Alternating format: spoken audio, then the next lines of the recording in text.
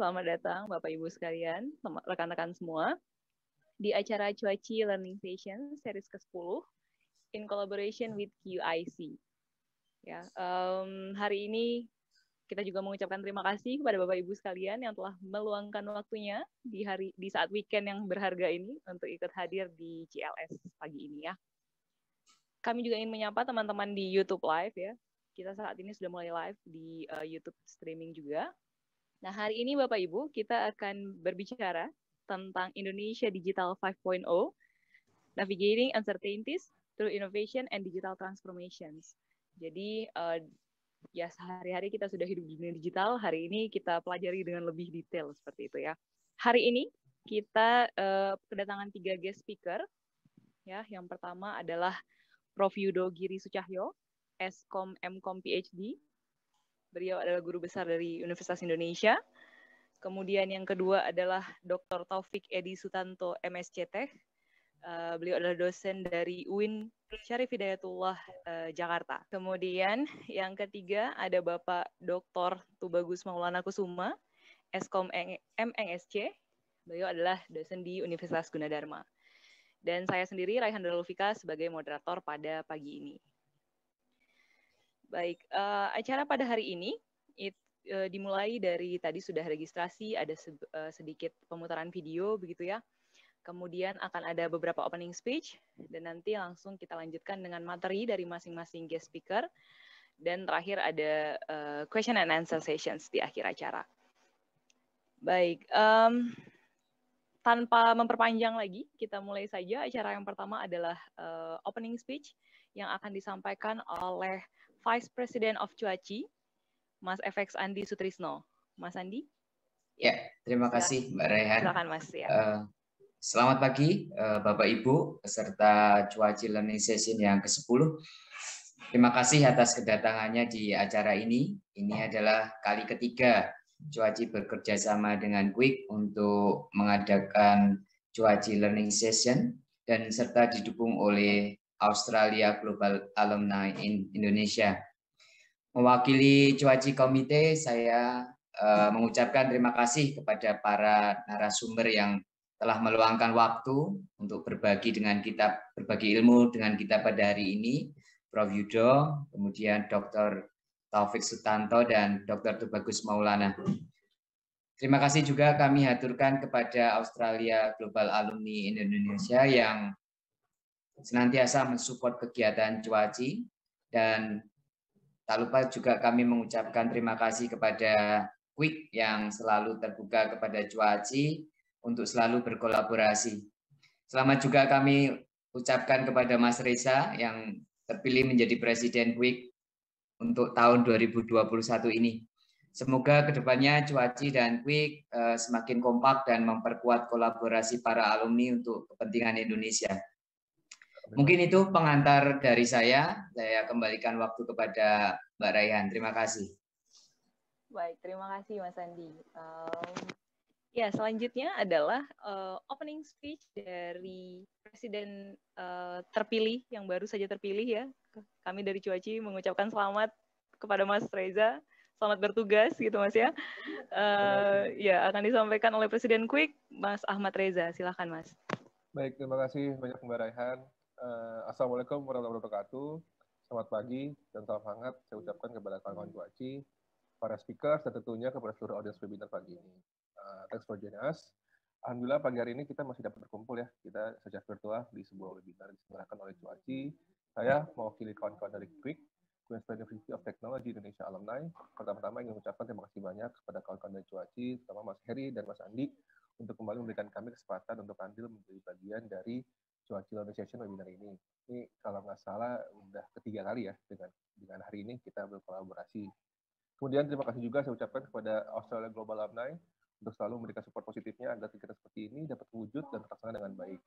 Terima kasih pula kepada Profesor Yudi Giri Sujahyo, Dr. Taufik Edi Sutanto, dan Dr. Temi Maulana Kusuma atau Pak BMB untuk waktunya memberikan pemaparan terkait Indonesia Digital 5.0 pagi hari ini. Kalau ini kalau saya lihat dari judul materinya sih luar biasa menarik ya. Semua akan dibawakan nanti.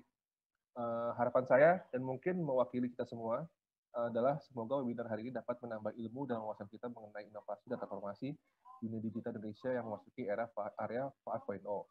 Karena seperti yang kita tahu bersama, dunia digital itu berkembang pesat dan sangat baik ya. Everything goes digital, mau nggak mau digital, harus digital untuk bisa bertahan, terutama di masa pandemi seperti sekarang ini ya, semua serba online dan semua areanya udah mengalami digitalisasi gitu kan.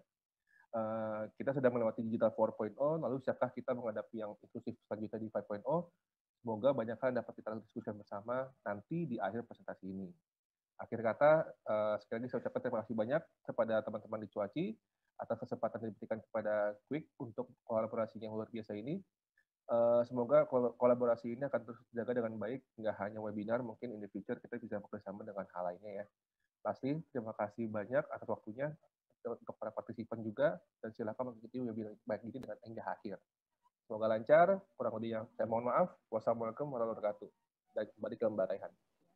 Assalamualaikum warahmatullahi wabarakatuh. Terima kasih banyak uh, Mas Andi, eh Mas Reza, kok Mas Andi lagi sih, Mas Reza, ya. Terima kasih. Um, dan kita juga mengucapkan terima kasih kepada support dari Australia Global Alumni ya. Harusnya pagi ini memberikan opening speech, tapi kemungkinan eh, tapi tidak berhalangan. Jadi kita ucapkan terima kasih pada Australia Global Alumni.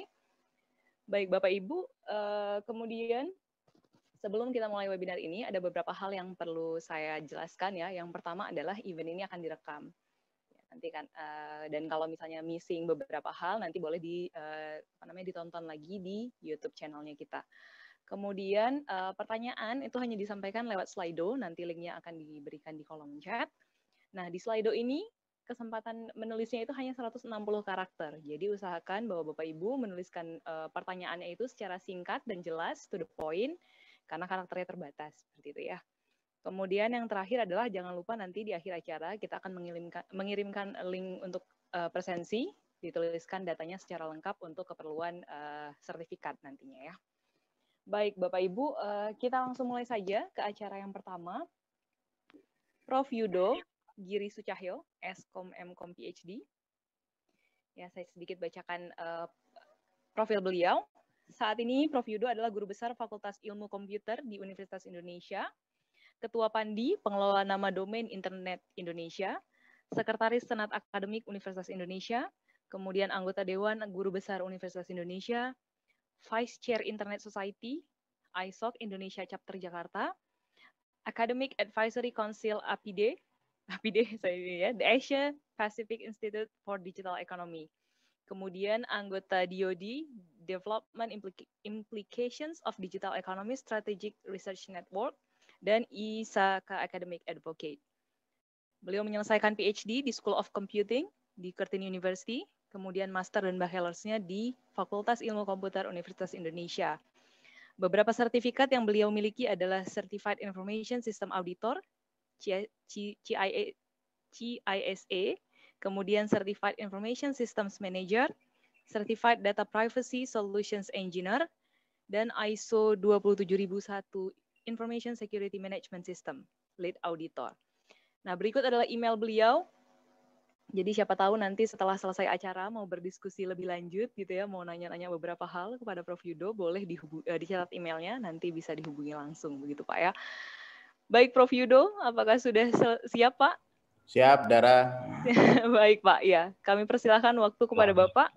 Shall we begin? So, uh, seems that I will have 20 minutes ya. Yeah? So, about setengah SKS uh, bersama dengan ibu bapak sekalian di seluruh mancanegara karena ada yang sedang di Australia dan juga di beberapa tempat lain. Saya lihat juga dari daftar peserta juga beberapa alumni dari uh, mahasiswa saya. Terima kasih sudah bergabung di sini. So, thank you for inviting me uh, for this session. Uh, ketika ditanya Pak Herbertus uh, mau topiknya apa ya, saya ambil yang general aja lah. ICT Development in Indonesia. Cuman biasanya memang seri ini saya update selalu dan dalam hal ini adalah terkait dengan kondisi terakhir 2021. Jadi judulnya udah pas banget karena eh, revolusi industri 4.0 sudah tidak bisa kita hindari sehingga mau tidak mau meskipun kita juga negara besar sehingga lalu kemudian juga tidak mudah untuk lalu kemudian melaksanakan sesuatu dengan cepat. Tapi kita sudah harus mulai menyiapkan masyarakat kita untuk menyongsong yang namanya Society 5.0, di mana lalu kemudian uh, revolusi industri 4.0 bermain di dalamnya. Tapi dengan adanya pandemi, ini kan akhirnya lalu kemudian kita masuk dalam kondisi yang namanya uncertainties dan untuk itu memerlukan berbagai inovasi dan juga transformasi digital. So in the next 20 minutes, I will I will cover from problems, lalu kemudian kita akan bahas dari sisi infrastructure, lalu kemudian application, lalu kemudian kebijakan-kebijakan atau policies yang ada. Tentu ya pasti kita masih ketinggalan dibanding eh, negara alma mater kita tempat kita menimba ilmu dulu di Australia. Eh, lalu kemudian juga dari sisi capacity building dan lalu kemudian dari beberapa isu. So, if you look at our country yang tercinta, negara Indonesia, seru banget gitu di kita. COVID, aduh kalau di Australia enak banget gitu ya, Perth begitu ada satu kasus lockdown semua gitu selama But unfortunately we don't have that luxury untuk lalu kemudian punya uh, eh, APBN yang besar untuk lalu kemudian bisa melakukan seperti Australia, belum lagi urusan data dan sebagainya. Kebocoran data di kita juga luar biasa. Ada beberapa kasus di tahun 2020 dari mulai Topet, Bineka, segala macam. Phishing di baru beberapa minggu yang lalu selaku topi lain Ketua Pengelola Nama Domain Internet di kontak adanya uh, situs abal-abal yang menyerupai Xiaomi, uh, Xiaomi. Jadi ya, lalu kemudian kita bekerja sama termasuk dengan Kementerian Kominfo untuk lalu kemudian itu bisa segera kita blok. Belum lagi data yang tidak konsisten di antara beberapa kementerian dan lembaga. Seru banget lah kalau di Indonesia. Which is why I decided to oke okay, mendingan kembali di Indonesia karena di sini ada seribu satu masalah yang kita perlu selesaikan gitu kan. Jadi ya dan kita juga baru dapat gelar uh, lagi uh, juara lagi gitu kan baru beberapa hari yang lalu katanya kita paling tidak sopan Asia Pasifik. Jadi top banget gitu. Jadi artinya ini PR kita bersama di mana pun Anda berada. Saya yakin kita semuanya mencintai negara kita Indonesia dan untuk itu kita perlu melakukan banyak hal dari mana pun Anda berada. Tapi pertanyaannya sekarang adalah kita dihadapkan pada situasi COVID situasi pandemi yang kalau di tahun 98 krisis ekonomi yang terjadi pada saat itu justru UMKM itu yang terdepan menjaga ekonomi kita pada saat krisis 98. Dan sayangnya pada masa pandemi ini sejak tahun kemarin dan sebentar lagi kita akan merayakan ulang tahun yang pertama hadirnya COVID di Indonesia per tanggal 2 Maret nanti Uh, dan sudah mulai banyak yang mengatakan, waduh Pak, udah mulai nggak kuat ini setahun. Beberapa kali saya ke Bali tahun lalu dalam rangka digitalisasi aksara Bali, hajatannya Pandi, itu saya bisa melihat betapa sepinya jalan di Kuta itu mobil kayaknya cuma saya sendirian. Uh, kalau mau merasakan hotel bintang 5 yang dulu harganya 3, 4, 5 juta, sekarang diobral di bawah 1 juta, nah sekarang saatnya uh, tapi juga dengan kondisi seperti itu. Semuanya uh, prokes ya protokol kesehatan yang ketat dan sebagainya. Tapi kalau kita lihat pertanyaannya sekarang adalah rakyat kecil seperti ini yang tadinya uh, bisa bertemu setiap pagi dengan masyarakat, begitu lalu kemudian ada PSBB yang diperpanjang menjadi PSBBB, diperpanjang lagi jadi PSBBBBBBB dan sekarang menjadi PPKM. Akhirnya kan lalu kemudian ya mereka harus survive. Dan ketika pertanyaannya sekarang adalah statistik BPS lalu kemudian menunjukkan bahwa UMKM ini yang akhirnya yang survive adalah mereka yang lalu kemudian bisa melakukan transformasi digital dalam tanda petik. Apa pun itu, mau lewat SMS itu digital, mau lewat WhatsApp itu digital, mau lewat Telegram itu digital. Jadi akhirnya apa? Yang bisa kita lakukan, yang mereka lakukan adalah lalu kemudian menghadirkan mereka secara digital jadi pada saat COVID di awal-awal dulu itu lalu kemudian pasar langsung banyak sepi dan segala macam. Akhirnya juga bisa begini. Kalau mau beli bumbu kering, tolong kontak Suhelmi. Kalau mau beli aneka bumbu, kontak Unil dan seterusnya. Dan ini lalu kemudian merambah di banyak lokasi. Dan artinya apa? Transformasi digital inilah yang lalu kemudian menolong mereka. Lawang gimana orang kita nggak bisa ketemu secara fisik. Dan untungnya sebelum COVID itu sudah ada yang namanya Gojek sama Grab. Bayangin kalau lalu kemudian COVID ada, kagak ada GoFood, aduh pusing itu, kagak ada GrabFood segala macam. Jadi akhirnya lalu kemudian asisten pribadi kita, eh, rekan-rekan yang di di Gojek dan juga Grab yang lalu kemudian membantu kegiatan kita sehari-hari. Nah, jadi lalu kemudian sekalian dengan adanya COVID itu, Pak Jokowi juga menyampaikan di bulan Agustus bahwa ya jadikan pandemi ini momentum untuk percepatan transformasi digital. Jadi begitu bulan Maret diumumkan ada COVID, itu lalu kemudian Rektor UI mengumumkan ya kita mulai kuliah secara online full. Mahasiswa kita pulangkan ke rumah masing-masing. Sebelum COVID kita tidak tahu Zoom itu apa, tapi begitu lalu COVID akhirnya semuanya berzoom ria. Jadi lalu kemudian akhirnya Presiden Jokowi menyampaikan bulan Agustus segera lakukan percepatan karena pada saat itu baru kita lihat bahwa rupanya ya dari beberapa aspek itu kita belum siap untuk lalu kemudian fully digital seperti yang kita harus lakukan. Tapi akhirnya ya harus siap. Bayangin seluruh Indonesia akhirnya lalu kemudian pembelajaran bisa dilakukan secara online. Selaku dosen di UI terhadap mahasiswa UI, saya mungkin tidak begitu melihat adanya kesulitan dalam akses uh, internet kepada mahasiswa-mahasiswa kami, lawang para mahasiswa S2, S1 itu kan. Tapi kalau kita tarik sampai ke bawah, ketika lalu kemudian saya membantu beberapa lembaga terkait dengan urusan pendidikan secara uh, elektronik ini, baru kita melihat bahwa yang dinamanya di Jayapura itu ada yang sampai rebutan HP karena HP-nya cuma satu. Belum lagi yang nyari sinyal harus sampai manjat pohon dan seterusnya. Jadi itu beberapa hal yang lalu kemudian membuat Pak Jokowi lakukan percepatan transformasi digital dan sebagainya, termasuk ada lima langkah percepatan transformasi digital selain infrastruktur digital, lalu kemudian juga menyusun roadmap transformasi digital, bangun pusat data nasional, siapkan SDM talenta digital, termasuk terkait dengan regulasi. Jadi yang saya ingin cover dalam waktu 15 menit berikut adalah secara cepat kita akan melihat kondisi Indonesia seperti apa. Yang pertama, dari sisi infrastruktur, kita ready atau tidak. Jadi paling tidak, Alhamdulillah per 14 Oktober 2019, itu Indonesia eh, akhirnya berhasil juga menyelesaikan atau membangun infrastruktur backbone kita yang sering disebut sebagai palaparing. Jadi saat ini kalau kita ngelihat di submarine cable map, itu kira-kira jalur fiber kita itu seperti ini.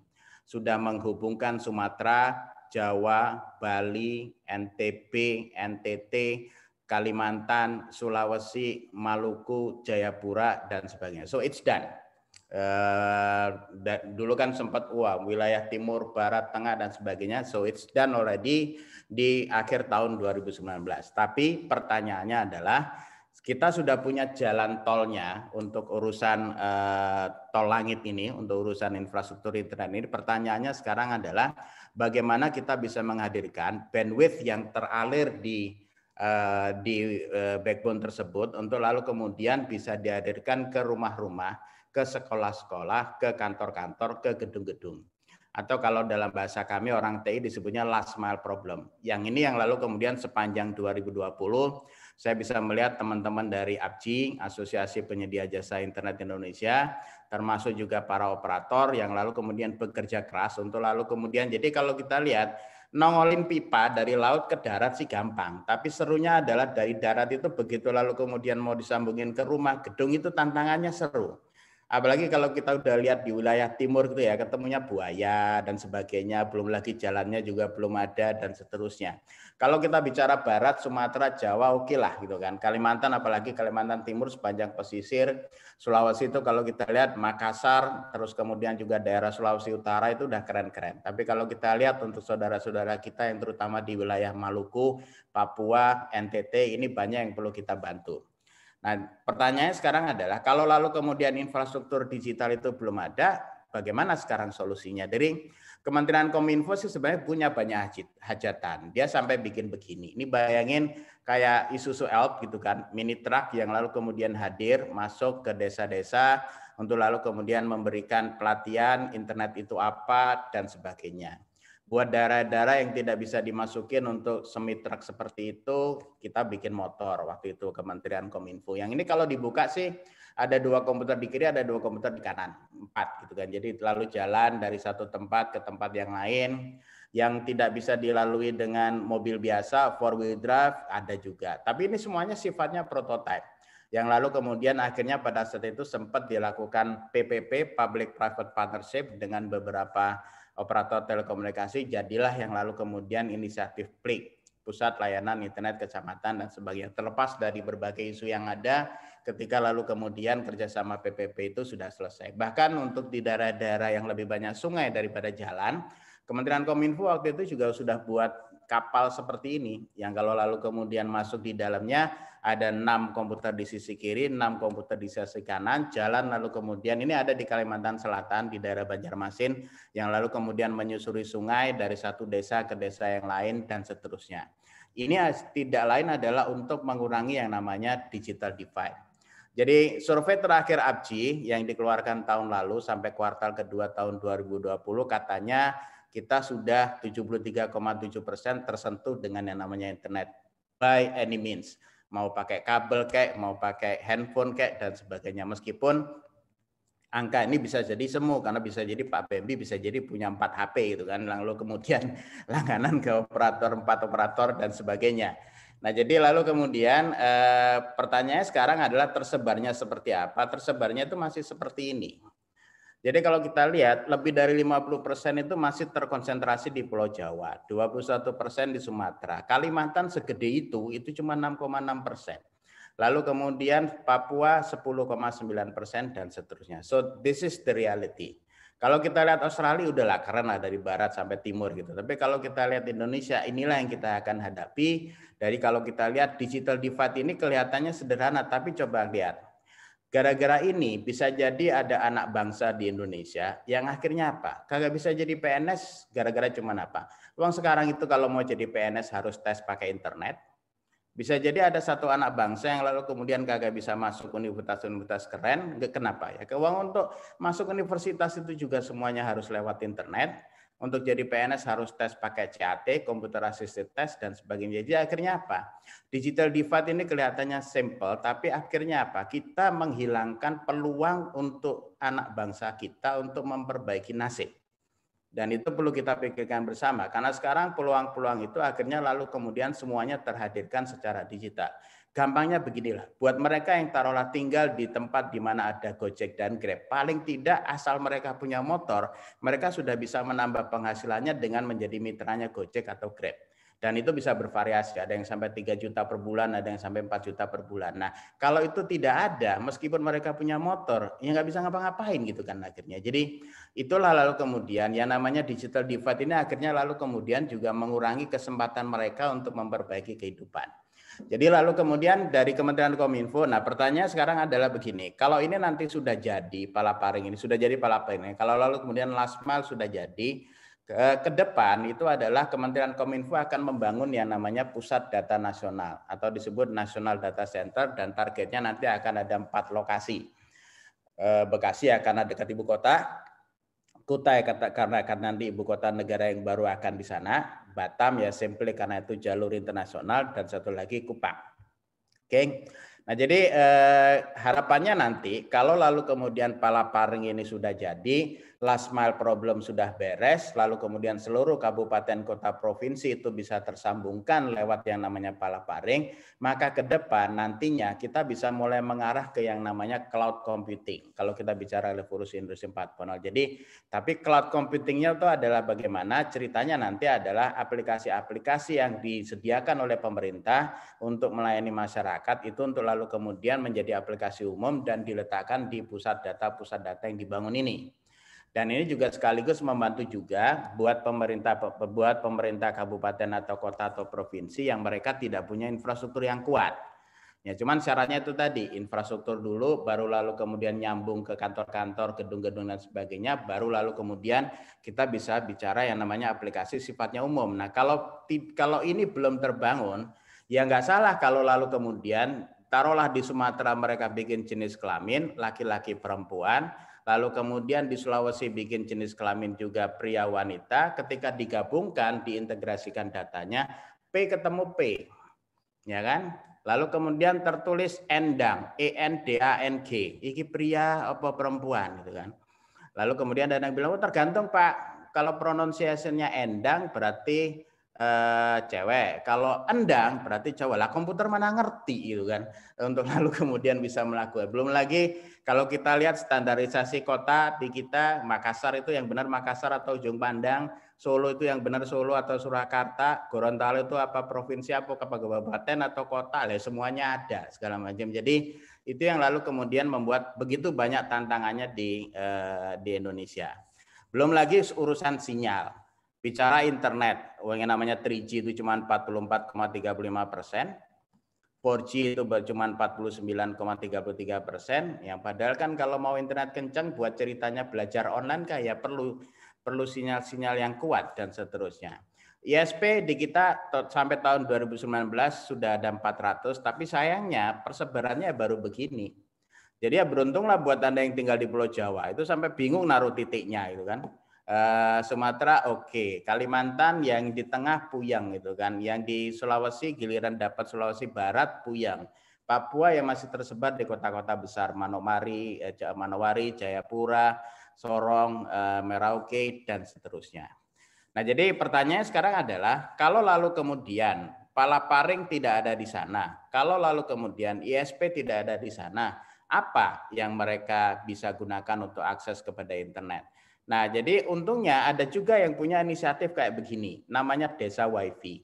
Ini sebenarnya pakai satelit aja. Jadi ketika lalu kemudian pipa itu tidak ada, ketika lalu kemudian ISP itu tidak hadir, eh, dan ada juga yang lalu kemudian menghadirkan seperti ini. Dan saya yakin nanti Pak Bembi yang memang mainnya di sekitar ini pasti banyak eh, pencerahan yang bisa diberikan oleh beliau kepada mereka. Jadi dengan inilah lalu kemudian investasinya juga saya dengar tidak mahal. Saya bukannya promosi produk ini ya, tapi yang jelas ini akhirnya cukup membantu di beberapa desa yang mereka tidak terjangkau oleh ASP, tidak terjangkau oleh eh, apa itu fiber optik dan sebagainya. Dan investasinya hanya seharga motor 15 juta yang lalu kemudian itu bisa dibagikan kepada eh, anak didik, kepada murid-murid termasuk kepada para UKM dan seterusnya. Nah, dan meskipun sih nanti serunya kabarnya kan bakal hadir ini. Ya, ini Pak Bembi nanti bisa cerita banyak lah Starlink dan sebagainya. Lalu makin seru lagi gitu kan. Jadi ya penyedia jasa internet makin puyang lagi lah. Uh, dengan adanya ini lalu kemudian akses internet bisa dihadirkan oleh Starlink dengan lebih uh, apa istilahnya karena ya dia pakai satelit yang lalu kemudian orbitnya rendah, jangkauannya tentu lebih luas. Itu dari sisi infrastruktur. Karena waktunya cuma 20 menit, saya perlu cepat-cepat. Nah, dari sisi aplikasi seperti apa? Jadi per tahun 2018 itu pemerintah mengeluarkan namanya Perpres SPBE, sistem pemerintahan berbasis elektronik yang sebenarnya sih dari IGOV, meskipun ada seru. Setahu saya sistem pemerintahan itu adanya berbasis kalau nggak presidensial ya parlementer gitu. Tapi kalau ini ada yang ketiga berbasis elektronik gitu kan. Meskipun ini sebenarnya menerjemahkan secara letterlock dari yang namanya IGOV. Jadi Eh, terkait yang tadi urusan palaparing, urusan lalu kemudian pusat data nasional, ke depan kita itu akan punya aplikasi yang sifatnya aplikasi umum standar akan dipakai oleh seluruh instansi pemerintah. Dan dibatasi hanya ke delapan sektor yaitu dari sisi perencanaan, penganggaran, eh, ini tentunya Kementerian Keuangan. Buat mereka yang terkait dengan pengadaan barang jasa pemerintah pasti tahu yang namanya aplikasi SPSE lalu kemudian juga urusan akuntabilitas kinerja, Monef, kearsipan, tentunya Andri yang lalu kemudian memimpin di sektor ini, kepegawaian ya tentunya BKN, saya lihat di daftar peserta ada Mbak Elin, itu beliau dari BKN, nanti bisa bantu jawab kalau ada pertanyaan soal aplikasi umum, pengaduan pelayanan publik, itu kalau lalu kemudian publik menyampaikan aspirasi. Jadi dibatasi delapan ini kalau delapan ini lalu kemudian jadi aplikasi umum, maka Anda akan merasakan mau dari Jakarta, mau dari Jayapura, mau dari Sulawesi, mau dari Kalimantan, Anda akan berhadapan dengan aplikasi yang sama, berhadapan dengan data yang sifatnya standar. Nah, kalau melihat ilmunya Pak Taufik, Pak soal AI gimana? Negara kita baru saja menyusun tahun lalu ya namanya Strategi Nasional eh, Kecerdasan Artifisial. Jadi uh, Artificial Intelligence National Strategy diulas di sana dari mulai urusan infrastrukturnya, pengembangan talentanya dan sebagainya. Langsung aja download dokumennya di aiinnovation.id. Oke, nah sekarang lanjut. Dari sisi policy seperti apa? Nah, Uh, kita sebenarnya tidak terlalu ketinggalan dari Australia kalau untuk urusan policy gitu ya, meskipun masih banyak yang perlu dikejar. Contohnya misalkan kita udah punya undang-undang ITE yang sekarang lagi seru karena beberapa hari yang lalu Pak Presiden Jokowi menyampaikan uh, perlunya untuk lalu kemudian meninjau kembali undang-undang ITE, siapa tahu perlu ada revisi dan sebagainya. Tapi paling tidak undang-undang ITE itulah yang lalu kemudian mengatur informasi dan transaksi elektronik, ngatur soal Eh, sertifikat digital, ngatur soal tanda tangan elektronik, ngatur soal pengelolaan nama domain, dan sebagainya. Eh, lalu kemudian ada lagi Undang-Undang KIP, Keterbukaan Informasi Publik, yang lalu kemudian membuat publik bisa meminta data atau informasi kepada pemerintah dan SLE-nya atau Service Level Agreement-nya juga harus jelas ketika lalu kemudian data atau informasi itu bersifat publik. Lalu kemudian ada peraturan pemerintah soal penyelenggaraan sistem dan transaksi elektronik yang kemarin juga baru direvisi. Ini juga ngatur soal uh, peletakan data center, mengatur lebih jauh soal pengelolaan data pribadi dan sebagainya. Buat teman-teman yang main di manajemen risiko, ada juga peraturan pemerintah SPIP, Sistem Pengendalian Intern Pemerintah Lalu kemudian eh, yang tadi sistem pemberian berbasis elektronik untuk e-gov serta untuk standarisasi data dan sebagainya juga sudah keluar Perpres SDI. Namun kalau dilihat dari tahun-tahunnya ini rata-rata baru keluar ya 2018, 2017 dan sebagainya. Jadi kalau kita lihat kita juga punya Kementerian Kominfo itu juga baru di awal-awal tahun 2000. Lalu kemudian undang-undang atau peraturan terkait terkait TI juga baru keluar sekitar dekat-dekat plus minus tahun 2010. Tapi peraturan pelaksanaannya ya sekitar sekitar 2-3 tahun yang lalu. So, so it is a good start gitu loh. Tapi yang jelas sih ke depan akan lebih seru lagi karena nanti eh, tahun ini itu akan dikeluarkan undang-undang PDP yang lebih kebetulan sih eh, kalau diterjemahkan ke Indonesia ya pengelolaan data pribadi meskipun kalau di luar negeri kita nyebutnya personal data protection.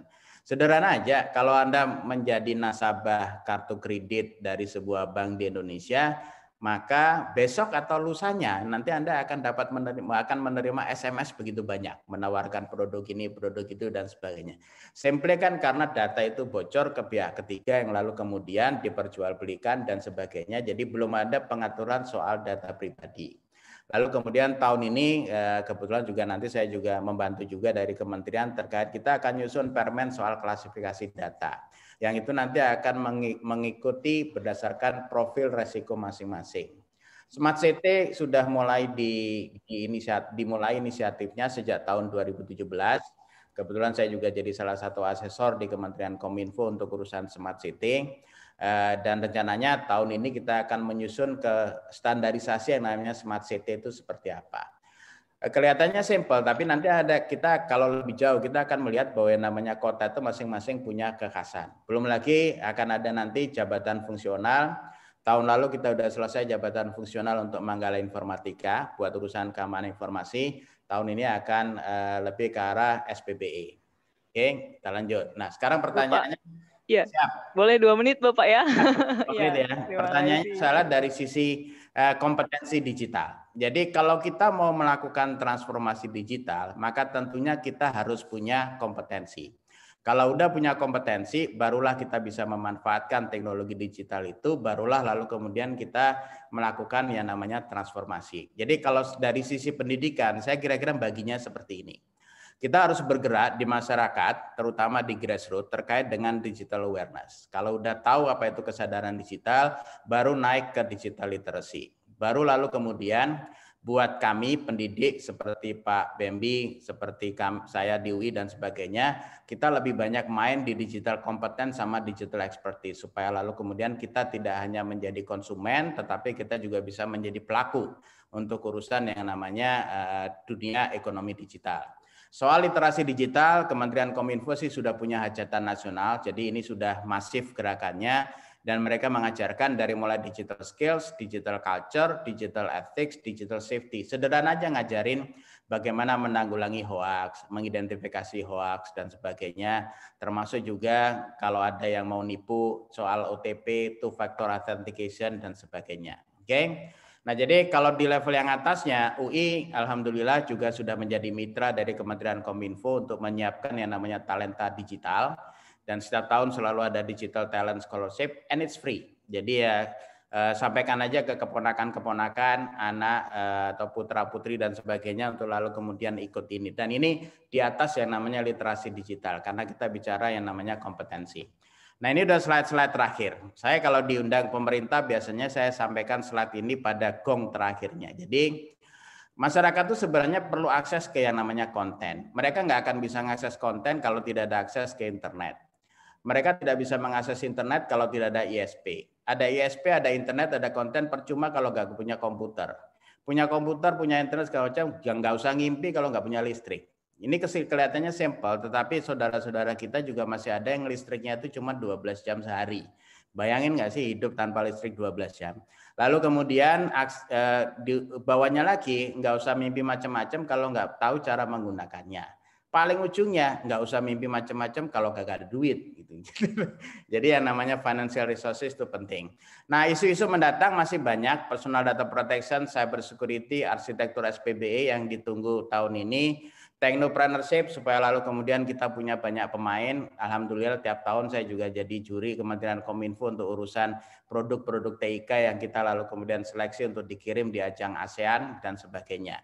Belum lagi sebagian masyarakat kita juga masih belum punya rekening bank. Kelihatannya simpel, tapi itu yang lalu kemudian membuat cash on delivery masih banyak, masih menjadi marah, dan tentunya urusan logistik. Demikian saya kembalikan ke Mbak Raihan. Terima kasih.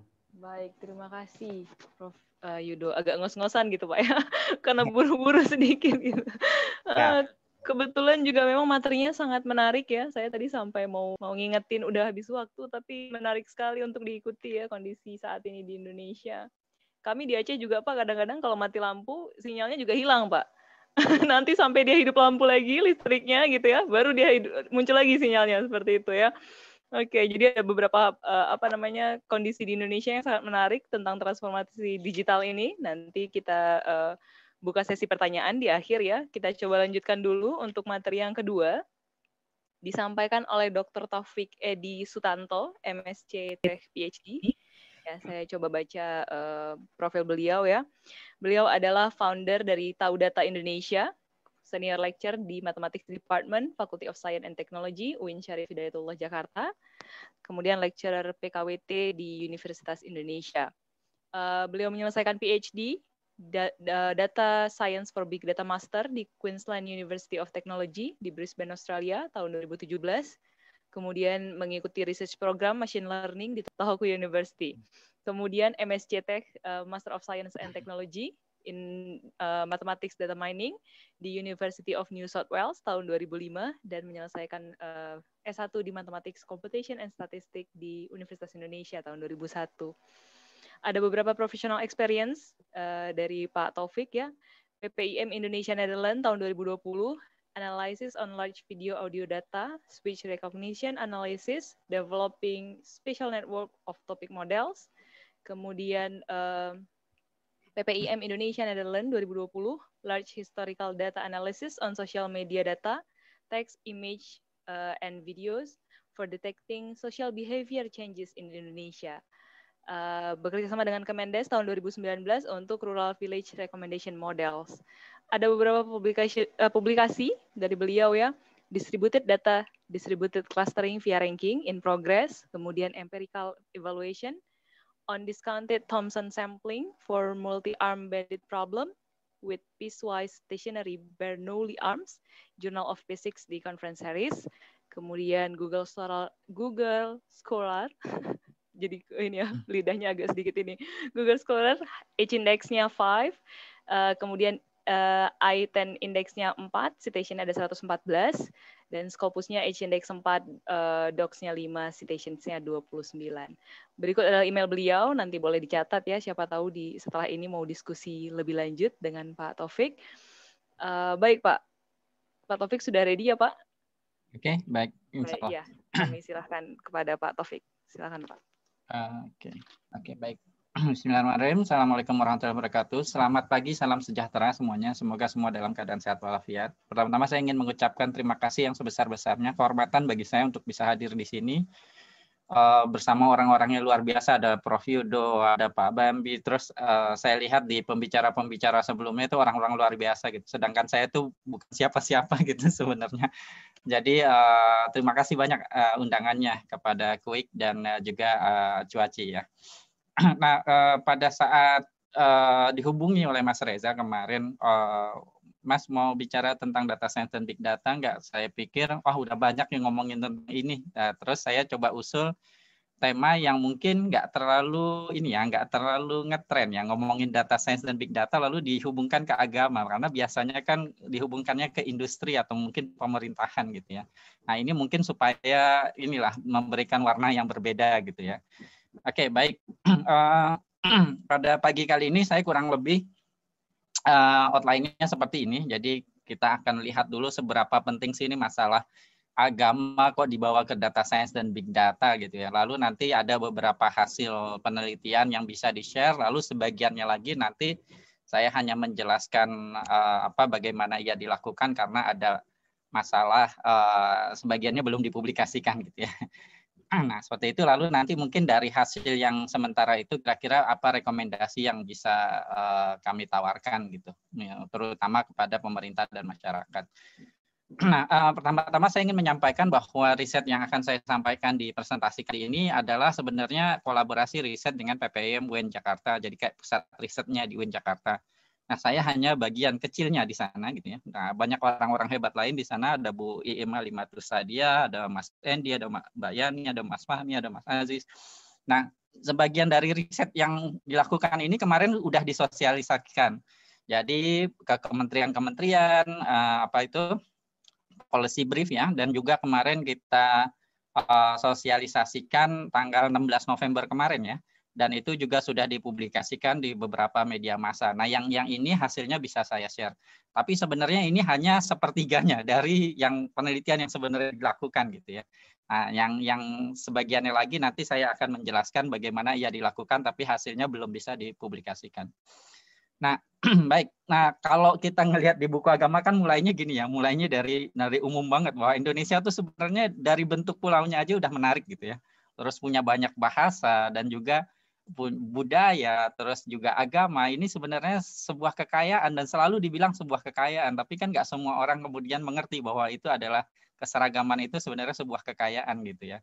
Nah tadi udah disampaikan oleh Prof. Yudo, nah ini data Januari 2021 dari Hootsuite ya, yang punya handphone itu udah lebih dari jumlah penduduk karena ada yang punya dua gitu. Dan dan yang pakai internet itu udah 202 juta yang pakai media sosial 170 juta. Artinya Kemudian kita ada uh, apa ya sebuah sumber data yang begitu besar, begitu besar. Walaupun ini kalau dibilang big data mewakili populasi apa enggak nanti rame itu ya diskusinya. Tapi kita nggak bisa memungkiri bahwa ini akan sangat uh, apa ya uh, penting untuk kemudian kita analisa. Nah, terutama kemudian kalau kita bicara budaya digital seperti tadi Prof Yudo sudah singgung gitu ya apa yang terjadi di dunia online, nah itu akan membawa dampak yang begitu besar di dunia offline. Nah itu nggak nggak perlu lagi kita perdetailkan. Semua orang insya Allah sudah setuju ya. Ah, banyak kemudian gonjang ganjing di Indonesia itu awalnya dari media sosial gitu ya, dari internet gitu.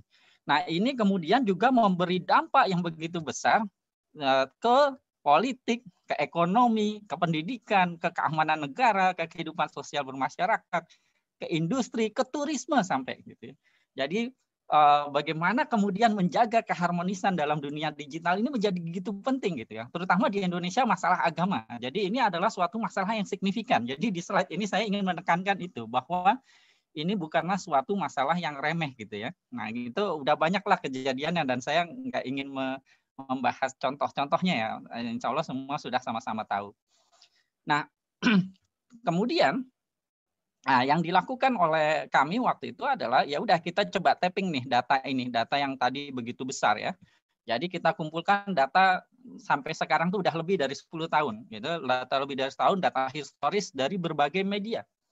Jadi dari sosial media, dari Twitter, Facebook, Instagram, dari YouTube, dari podcast, dari radio, dari TV, dari website, dari mana-mana kita kumpulin itu data lebih dari 10 tahun dan yang kita kumpulkan bukan sekedar status media sosial, kita kumpulkan teks, image, data network, data video, data audio. Wah, ini datanya kaya sekali yang berasal dari jutaan user.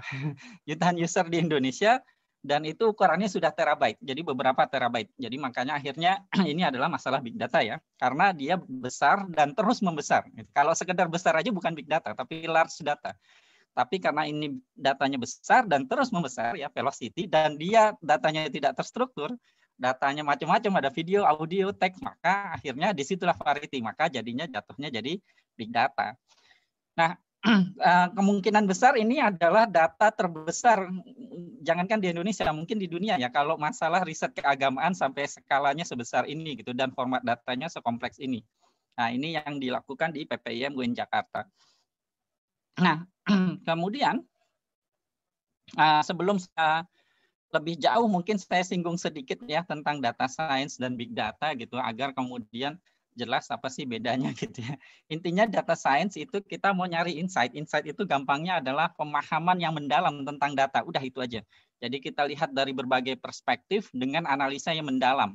Jadi nggak sekedar informasi, tapi pemahaman yang mendalam dari data gitu. Nah itu adalah science data. Jadi dia tidak fokus ke akurasi, tapi ke insight. Nah kalau big data tadi udah disampaikan, datanya besar dan dan datanya membesar dan datanya itu terdiri dari beberapa format. Udah itu aja. Jadi nggak ada VV yang lain. Sebenarnya V3 ini aja utamanya. Uh, yang lainnya tuh gimmick gitu ya. Nah, kemudian dari sini berarti kemudian kita bagaimana tadi data yang besar tadi kita memahami apa yang terjadi nih keber, apa ke bagaimana orang beragama di media sosial di Indonesia seperti apa perkembangannya dari waktu ke waktu. Maka kita perlu melakukan analisa di semua format data tadi.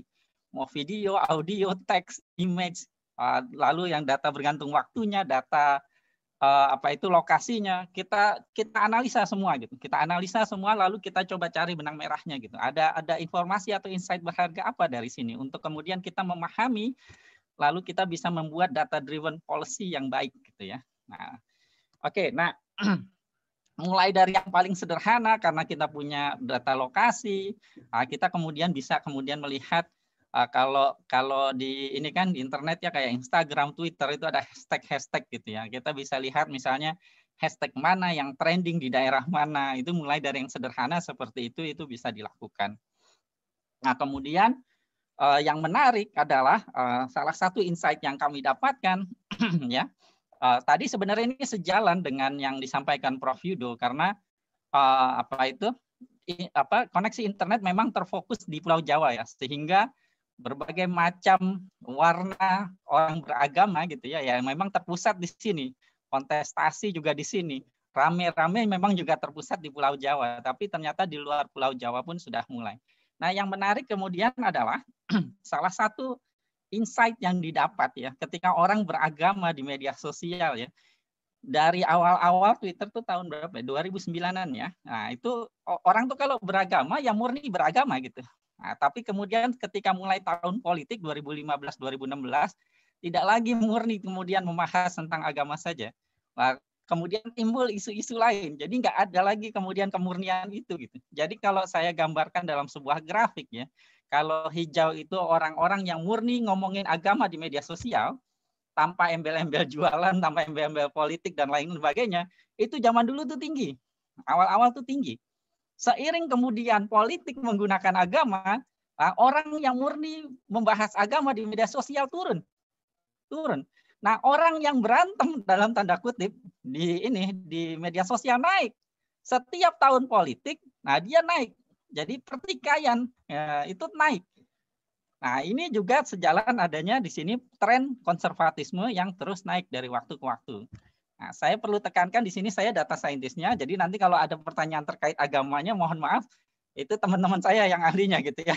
Jadi saya kalau nanya data sainsnya, big datanya monggo gitu. Tapi kalau misalnya terkait ini definisi konservatifnya pakai definisi siapa? Nah, itu nah, itu di luar skop saya, mohon maaf. Nah, tapi kita punya ahlinya dan kita memakai kaidah-kaidah ilmiah yang baik. Artinya kita cross validasi dan lain sebagainya. Nah, ini tren ini terlihat ya, eh, bagaimana kemudian ketika agama dicampur politik membuat kalau saya dalam tanda kutip kesolehan masyarakat itu menurun sebenarnya dan pertikaian naik gitu. Nah ini kan sebenarnya pola yang kelihatan, nampak secara empiris kita bisa tunjukkan bahwa datanya seperti itu memang gitu. Nah Terus kita lihat juga, nah siapa sih ini orang-orang yang suka berpolitik dalam agama gitu ya. Nah kalau misalnya kita pakai warna, ada spektrum liberal, moderat, konservatif, dan islamis gitu ya. Nah ini kelihatan bahwa politik itu banyak di konservatif dan islamis memang seperti itu. Nah termasuk juga yang, nah ini yang kemudian rame gitu ya, saling bersih teru itu juga adalah kedua uh, paham tersebut seperti itu. Nah, yang agama umum ini agak-agak jarang ya. Agak-agak uh, apa agama umum banyak sih di Islamis dan juga di moderat kayak gitu ya. Nah, ini ini yang murni bicara agama gitu. Nah, tapi yang menarik gini. Nah, terus sama teman-teman tuh gini, sama teman-teman kemudian ya. Ah, kita coba yuk kita pilih nih, kita filter dari data ya sama teman-teman waktu itu kita pilih beberapa 100 ribu lebih lah, hampir 150 ribu user yang benar-benar user beneran. Bukan bukan buzzer, bukan box, bots, dan lain sebagainya. Nah, kemudian uh, kita mau lihat persebaran dari hashtagnya. Lalu kami menemukan sesuatu yang menarik. Jadi contohnya misalnya ada hashtag-hashtag yang tidak digunakan oleh ratusan ribu orang itu gitu. Nah ini, uh, jadi jadi kita kemudian dengan big data, dengan data science ya, Ntar ini saya pindahin dulu. Nah, terus kemudian kita bisa melihat bahwa ada kecurigaan gitu ya. Kecurigaan ini ini harus diteliti lebih lanjut ya.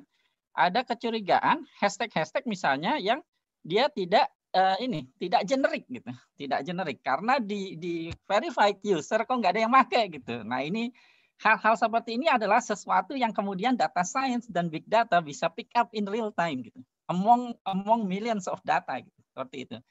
Nah, ini Kemudian yang menarik lagi ya, insight-insight yang didapat ya. Nah, ini kalau kita lihat otoritas keagamaan ya. Kalau zaman dulu orang belajar agama nih kalau offline ya, bahkan ke pesantren, ke madrasah. Lah gurunya siapa? Pak Kiai, Pak Ustadz. Seseorang emang yang punya ilmu agama bagus gitu kan ya. Nah, menariknya kemudian di Indonesia itu seperti ini. Jadi kalau yang hijau itu ustadz-ustadz ya, ustadz-ustadz, lalu kemudian yang biru itu adalah tokoh-tokoh, ya mereka saling bersilaturahmi lah, saling terhubung gitu ya.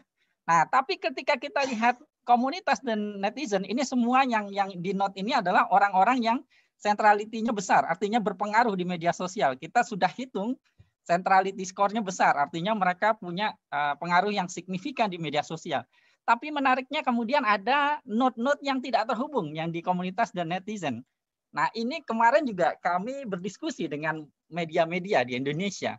Nah, tantangan media di masa depan. Bagaimana media punya peraturan yang ketat, punya pengawas.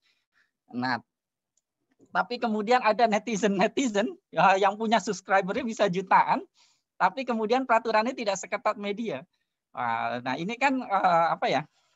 Ada sesuatu yang yang perlu juga kita apa uh, ini perhatikan kita beri catatan khusus gitu ya. Uh, jadi orang-orang ini kemu kemungkinan bisa jadi saya nggak saya nggak membahas langsung yang ini gitu ya, tapi secara umum saja bahwa bisa jadi seseorang di zaman sekarang netizen misalnya membuat konten-konten keagamaan ya, tapi bukan orang ahli agama karena dia nyomot misalnya dari mana-mana. Nah, tapi dia kemas menarik. Jadi dia jago media, jago bikin konten, konten kreator. Nah, dia bisa kemudian populer di media sosial dan mempengaruhi masyarakat. Kalau pengaruhnya bagus, alhamdulillah. Tapi kalau misalnya netizennya yang penting punya subscriber banyak, dapat absennya ya apa, dapat uang banyak. Nah, ini yang berbahaya. Nah, apalagi kalau sampai misalnya ada pihak-pihak yang semakin panas duit saya makin banyak. Nah, itu bahaya sekali kan.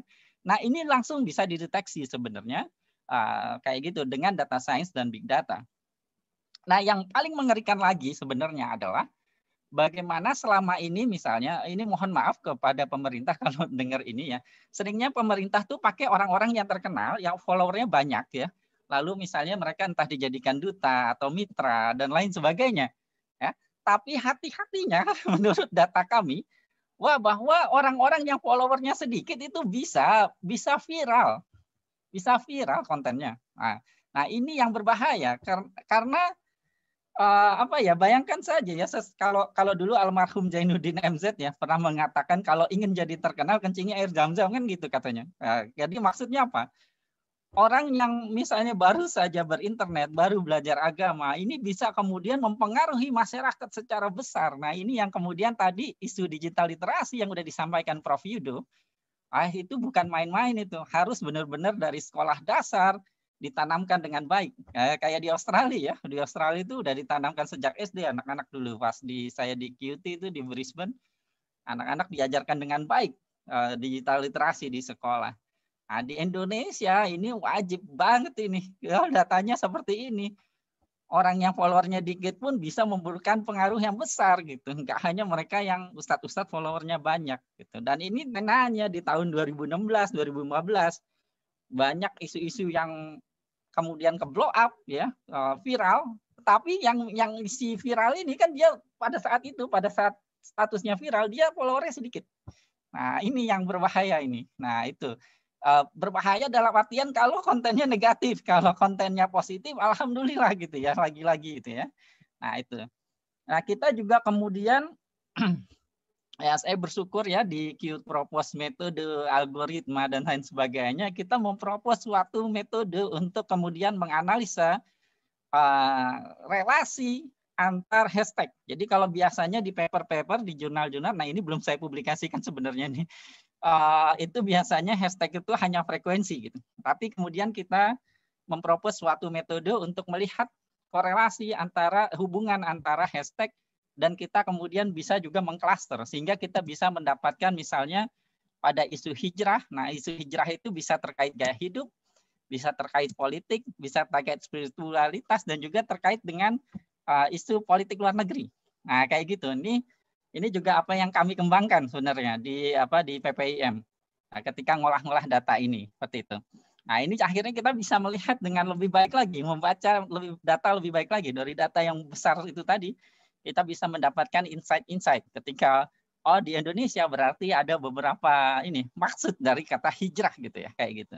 Nah ini kalau nggak salah di QT juga kita punya ahlinya nih uh, tentang hijrah ini ya uh, Mbak Alila ya kemarin ya. Nah seperti itu. Nah kemudian nah yang menarik lagi dari penelitian yang dilakukan adalah nah ketika kita bicara data media sosial biasanya itu temporal. Temporal artinya informasinya hanya berlaku pada saat itu. Dan biasanya yang dilakukan seperti ini. Nah, contohnya kontroversi analisis. Mungkin yang dilakukan Don Prit ya, Pak Ismail Fahmi misalnya. Nah, kita lihat biasanya membentuk uh, grafnya itu dari ini, dari node-nya itu user, lalu garisnya ini mention, mention antar user gitu. Jadi kalau ada user mention yang user lain, nah itu kemudian ada garisnya gitu. Nah, salah satu analisa yang bisa dilakukan namanya kontroversi analisis. Nah, kontroversi analisis itu berarti kalau misalnya kita lihat ada isu apa nih, misalnya terakhir isu vaksin nih, vaksin COVID-19. Nah, masyarakat gimana nih? Setuju atau atau berdebat? Kalau berdebat misalnya satu pihak tertentu apakah dia cenderung setuju yang yang di sini bermacam-macam atau terbentuk dua klaster perdebatan yang berbeda, kita bisa ukur itu. Kita bisa hitung skornya. Uh, seberapa kontroversi suatu isu gitu. Nah, itu bisa dilakukan secara real time. Tapi walaupun ini grafiknya keren, nampaknya bagus ya, tapi ini temporal. Kenapa temporal? Karena tadi garis antara user 1 dengan user 2 ini berdasarkan mention. Nah, artinya misalnya tujuh hari kemudian mungkin isi itu udah nggak ini lagi, sudah apa nggak hot lagi orang udah nggak kontroversi lagi. Orang Indonesia biasanya gitu, nyari pertikaian berikutnya nih apa nih gitu. Kan gitu ya. Nah, yang menarik kemudian yang dilakukan PPIM yang mungkin juga nggak dilakukan oleh uh, pusat studi lain adalah dia melakukan ini.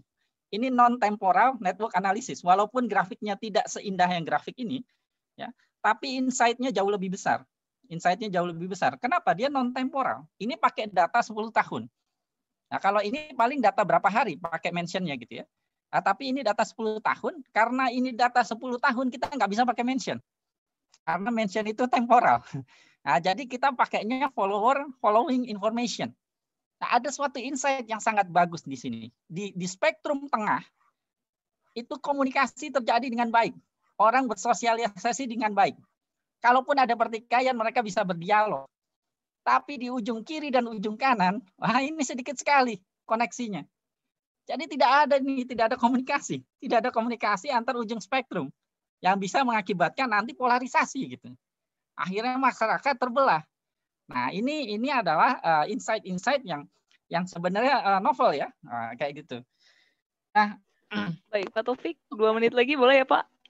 Oh yeah. my goodness, lewat aja deh.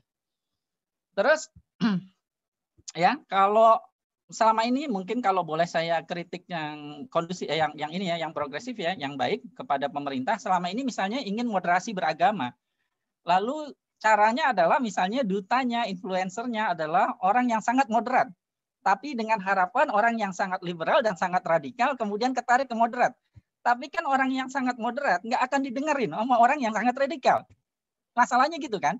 Nah kami akhirnya bisa uh, ini merekomendasikan ya orang-orang yang kemudian bisa berkomunikasi dengan seluruh warna gitu.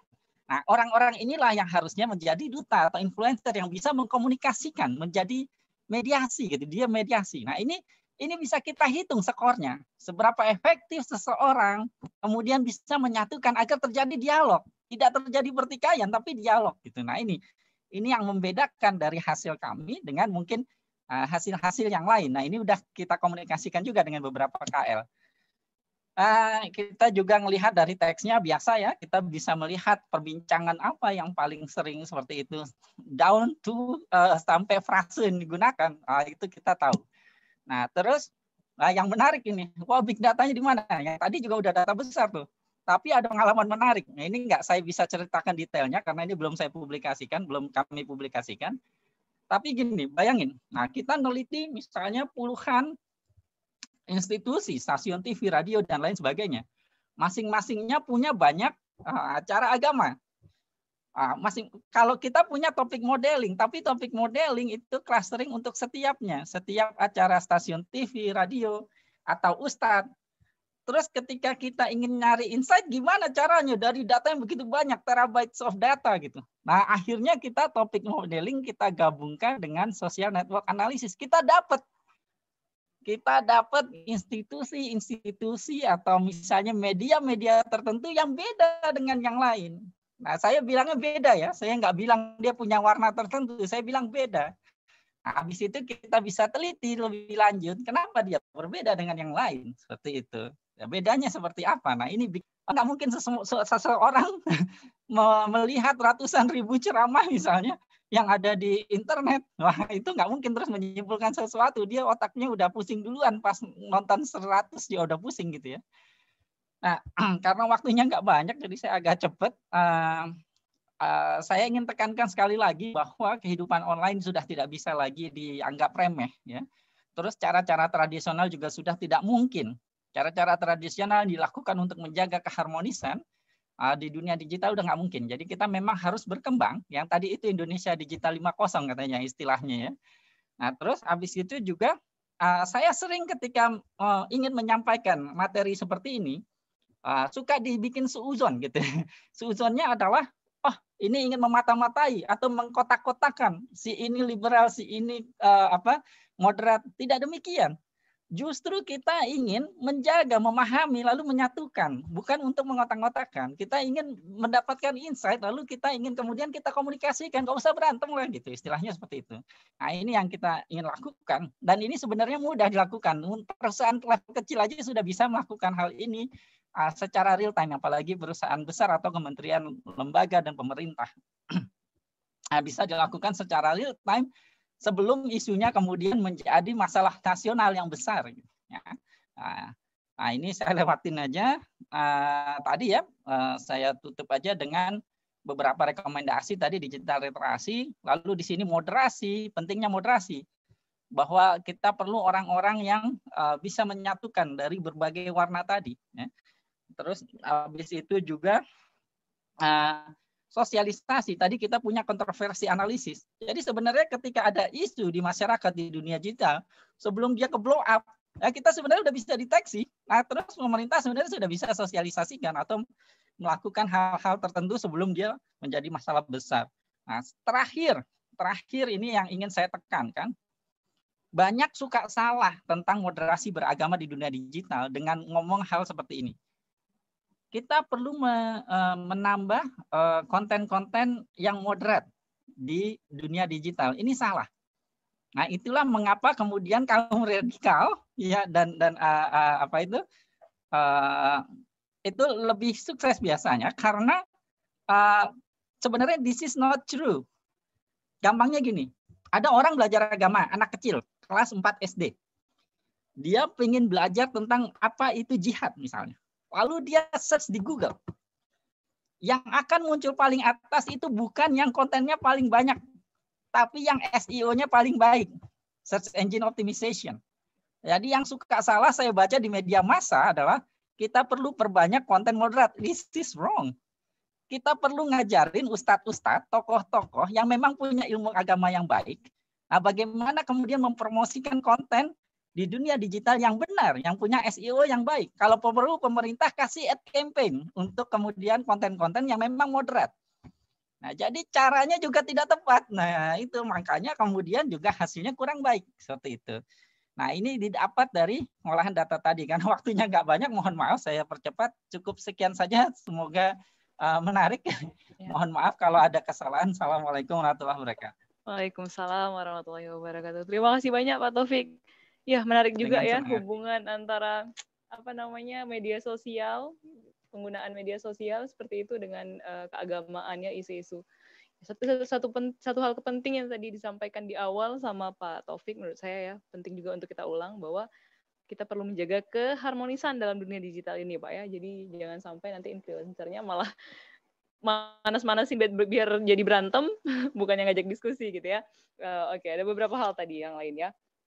Baik, selanjutnya kita pindah ke materi yang ketiga itu yang akan disampaikan oleh Bapak Bu Bagus Maulana Kusuma, Eskom MXJ. Saya bacakan sedikit CV beliau. Saat ini beliau adalah Direktur Program Pascasarjana, Magister Teknologi dan Rekayasa di Universitas Gunadarma, Jakarta, kemudian Asesor Badan Akreditasi Nasional Perguruan Tinggi. Beliau menyelesaikan PhD di Telekomunikasi Multimedia, Curtin University tahun 2006, kemudian masternya di Teknologi Telekomunikasi dan Jaringan Komputer, Curtin University 1999, Kemudian S1-nya diselesaikan di Sistem Komputer Universitas Gunadarma Jakarta tahun 94.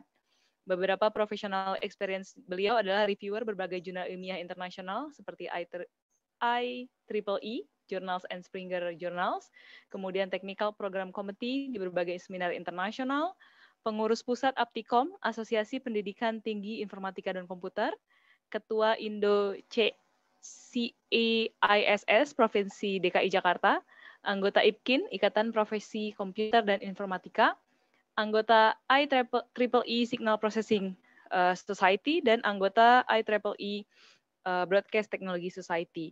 Research interest beliau adalah telekomunikasi multimedia, sistem penyiaran digital, sistem cerdas, dan robotika.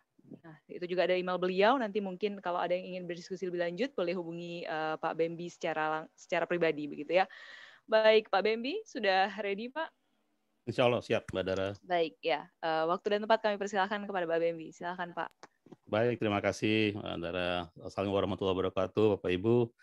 Yang saya hormati Bapak Presiden uh, Cuaci, Mas Heri, dan juga Presiden Quick yang baru terpilih, Mas Reza. Selamat, Mas Reza. Juga sejajaran uh, pengurus Cuaci dan Quick, serta Bapak Ibu sekalian. Um, baik, saya coba share screen.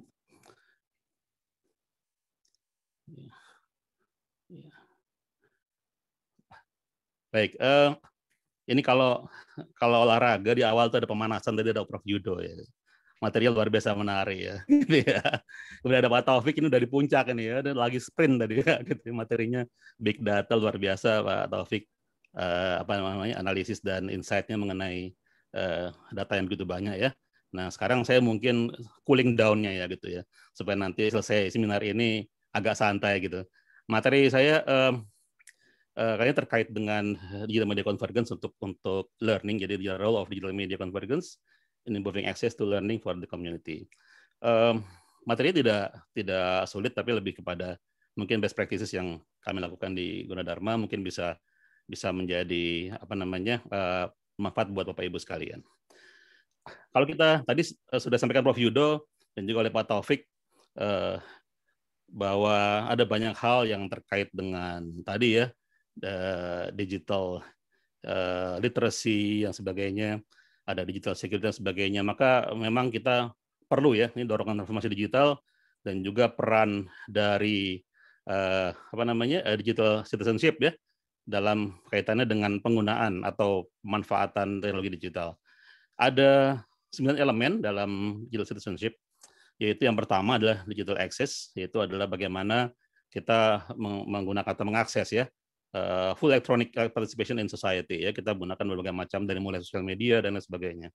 Kemudian yang kedua kita juga masuk digital commerce ini mungkin yang biasa berbelanja di uh, Tokopedia ya, ya di Topet ya ini pasti sangat familiar ya dengan digital commerce ini ya electronic buying and selling of goods ya gitu ya. Uh, kemudian digital communication ini menjadi jembatannya yaitu pertukaran informasi ya di di apa namanya dengan dengan media komunikasi. Kemudian ada uh, digital literacy tadi dibahas oleh Prof Judo juga, oleh Pak Taufik juga. Ini menjadi isu yang utama juga ya bahwa di kita mungkin digital literacy-nya masih belum terlalu tinggi ya, Prof Yudo ya mungkin ya. Masih perlu didorong lagi ya gitu. Tadi Prof Yudo fokusnya adalah pada kompetensi juga kepada eh, expertise ya di perguruan tinggi memang.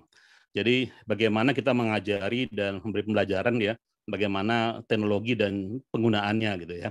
Jadi Pak Taufik juga sempat sampaikan juga banyak hal, ternyata banyak penyimpangan dalam penggunaan teknologi digital ya, juga media sosial untuk keperluan yang lain dalam tanda petik ya gitu ya.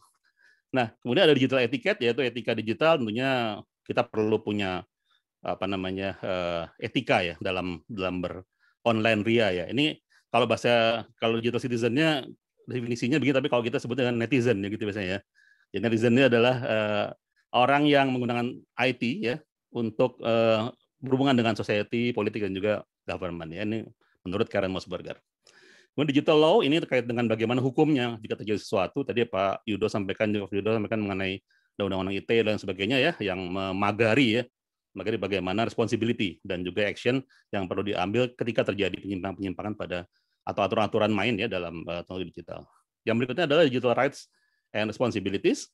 Ini bagaimana uh, hak dan kewajiban kita ya kadang-kadang orang minta hak aja ya, tapi kewajibannya nggak dilaksanakan ya gitu ya. Hak saya mana? Gitu. Tapi kewajibannya atau responsibility-nya nggak nggak ditunjukkan ya. Ini juga berbahaya ya gitu. Ya. Kemudian digital health and wellness. Nah ini jangan lupa kalau apa namanya main komputer terus ya, biasa buka WA atau mungkin anak sekarang main game terus kesehatan jangan lupa ya gitu ya. Mata ini biasanya kalau dari masa pandemi ini biasanya mata ini suka berair ya. Karena meeting bisa sekaligus tiga paralel ya gitu ya. Satu buka Zoom, satu lagi buka Google Meet, satu lagi buka yang lain ya. Tiga paralel, dengarnya bingung ya, mana yang mau didengar ya. Kadang-kadang suka salah ngomong ya. Suka salah ngomong, salah mute ya. Ngomong ke yang mana, maksudnya yang apa gitu ya. Jadi ini juga perlu uh, di, apa diperhatikan. Kita ada digital security tentunya ya, karena semua pesan yang disampaikan di elektronik tentunya perlu dijamin ya uh, keamanannya. Oke, ini ada isu-isu tentang WhatsApp dan sebagainya ya, gitu ya bahwa WhatsApp akan menyadap segala macam ya itu ya ya kita perlu literasi untuk memahami itu. Kemudian kalau kita lihat media digital, sebetulnya karena ada isu media digital tadi role-nya seperti apa, bahwa kita bisa definisikan ini saya coba kutip definisinya eh, bahwa transmisikan sebagai data digital ya media digital ini ya, yang sederhana ya mendapatkan kabel mungkin satelit dan sebagainya, yang mengirimkan sinyal digital ke perangkat yang menerjemahkan menjadi audio, video, grafik dan sebagainya. Kemudian contohnya misalnya kita melakukan browsing ya di komputer mungkin untuk kita melihat internet streaming ya tentunya kita sebenarnya sudah mengkonsumsi media digital gitu ya tentunya bandwidth juga jalan terus ya argonya ya gitu ya kalau langganannya berupa kuota ya gitu. Nah ini juga jadi kendala juga ya ketika bicara work from home, study from home ya. Eh, kadang-kadang mahasiswa juga kadang-kadang bilang Pak kuotanya udah mau habis nih Pak gitu karena nunggunya kelamaan misalnya gitu ya atau kuliahnya kelamaan ya. Kemudian juga eh, digital juga bisa berupa video, artikel, iklan dan lain sebagainya ya. Jadi beragam Eh, dalam bentuk media digital yang bisa diproses oleh komputer. Nah, kemudian tentang konvergensi. Nah, kita bicara konvergensi, sebetulnya ini kan penyatuan ya. Sebenarnya pengintegrasian ya. Kalau kita bicara konvergensi media, itu adalah keterkaitan antara komputasi dan teknologi informasi, itu ya, konten dan juga jaringan telekomunikasinya ya. Ini tentunya yang muncul dari orang menggunakan internet ya. Akhirnya semuanya mau disatukan dalam satu bentuk platform ya. Sehingga akhirnya konvergen ya. Nyatu produknya pun demikian ya. Konten-kontennya pun demikian. Akhirnya konten disiapkan untuk keperluan uh, transmisi di dalam media yang uh, tentunya konvergen tadi. Istilah konvergensi digital ini juga uh, kita bisa menyaksikan konten multimedia yang sama dari berbagai jenis perangkat. Nah ini ada yang ada yang menjadi Kadang-kadang kadang lucu mendengarnya. Kalau dulu orang nonton TV itu kan di depan TV ya gitu ya. Depan TV ya pesawat, orang nyebut dulu pesawat televisi ya gitu ya. Kemudian eh, sekarang TV di depan komputer atau smartphone ya. Lagi apa? Nonton TV gitu ya. Padahal depannya smartphone bukan TV ya gitu ya. Ya, kalau dulu karena TV identik dengan pesawat televisi gitu ya. Nah, atau juga kalau dulu akses internet menggunakan komputer, sekarang akses internet menggunakan TV. Nah, kebalikan lagi, gitu ya. menggunakan smart TV atau menggunakan TV box. Ya, jadi sebenarnya sekarang TV itu yang mana sebenarnya gitu, ya? perangkatnya kah atau mungkin medianya di televisi, gitu ya, televisi ya kita melihat sesuatu yang jauh kan gitu ya. Tapi orang sudah bahwa itu pesawat televisi, ya jadi perangkatnya. Jadi ini sudah kebolak-balik ya, atau semua sudah sebenarnya sudah menyatu konvergen ya, itu yang terjadi. Nah, jadi kalau kita lihat tadi ada media convergence, konvergensi media, kemudian juga ada digital convergence tadi mengenai perangkat yang perangkat apa saja untuk mengkonsumsi media eh, digital tadi akan ditransmisikan melalui komunikasi digital. Tadi Prof juga sampaikan tentang palaparing ya tadi ya. Palaparing yang dengan berbagai kesulitannya ya untuk menjangkau seluruh Nusantara, terus sebagian besar sudah sudah apa namanya mungkin sudah merasakan ya bagaimana uh, palaparing itu dan juga tentunya di akhir adalah digital, digital access. Ini yang juga penting juga ya tadi Prof Yudo sampaikan di terakhir sekali uh, di materinya itu ada tahapan-tahapan itu ya. Terakhir adalah kalau nggak punya uang ya jangan macam-macam gitu ya Prof ya. Gitu ya. Jadi intinya itu tadi tahapan-tahapan intinya adalah akses ya. Kita akses. Nah, kalau nggak bisa akses ya percuma gitu ya. Gitu. Tentunya perlu di di bawah ini tentunya banyak sekali ya gitu ya. Tadi Prof Yudo sudah buat urutannya itu ya. Jadi ini di ujung sekali nih ya. Nggak bisa di bawahnya nggak ter, tercukupi ya ini nggak akan tercapai gitu jelas akses ya. Nah, sekarang kita coba lihat ke kondisi saat ini ya. Kita lagi ada di kondisi pandemi COVID-19 ya. Berlakuan PSBB, kemudian PSBB transisi, diperpanjang lagi, sekarang PPKM ya gitu ya. Nah, ini nggak tahu setelah ini apa lagi, ya. tapi sudah mulai vaksinasi ya. Semoga uh, semua segera bisa di di apa namanya uh, vaksin ya, gitu ya. Nah, uh, kemudian yang kedua, masyarakat dalam tanda petik dipaksa kalau situasi melakukan aktivitas dari rumah secara daring ya orang bilang work from home dan juga study from home ya di rumah ya. orang uh, takut gitu ya orang takut uh, untuk untuk keluar rumah awalnya tapi sekarang udah berani sih ya. Uh, jadi sebagian juga sudah mulai bekerja di kafe ya gitu ya. Sambil ngumpul-ngumpul gitu buka masker akhirnya muncul lagi apa namanya penularan-penularan yang tambahan gitu ya. Jadi mungkin sudah jenuh juga ya mungkin di rumah terlalu lama. Nah, sekolah dan perguruan tinggi juga masih melakukan belajar dari rumah secara penuh ya. Karena juga khawatir ya bahwa kalau kalau di kalau di apa namanya diberlakukan eh, pembelajaran luring ya berbahaya juga karena dampaknya bisa masif ya sampai terjadi klaster-klaster baru. Kemudian berbagai adaptasi juga perlu dilakukan untuk menghadapi situasi ini, khususnya terkait dengan pembelajaran yang harus terus berlangsung, nggak boleh berhenti nih pembelajaran ya. Dengan cara apa pun harus berjalan ya. Nah, berarti proses transformasi digital tadi yang Prof. Yudo sampaikan dan juga Pak saya sampaikan bahwa ya lebih cepat realisasi ini karena paksaan tadi gitu ya karena kondisi pandemi ini akhirnya yang tadinya mungkin agak seret sekarang bisa lebih licin gitu ya bisa lebih tergelincir masuk sehingga jalan tapi masalahnya adalah kesiapan juga kadang-kadang juga juga tidak semuanya siap ya awal-awal mungkin guru-guru sekolah terutama sekolah dasar mungkin perlu waktu ya untuk bisa ngajar katakanlah dengan zoom ya mereka kadang-kadang nggak tahu masih nyari-nyari tombol gitu ya tombol ini apa? Tombol ini buat yang mana? Karena anak-anak coret-coret coret-coret ya.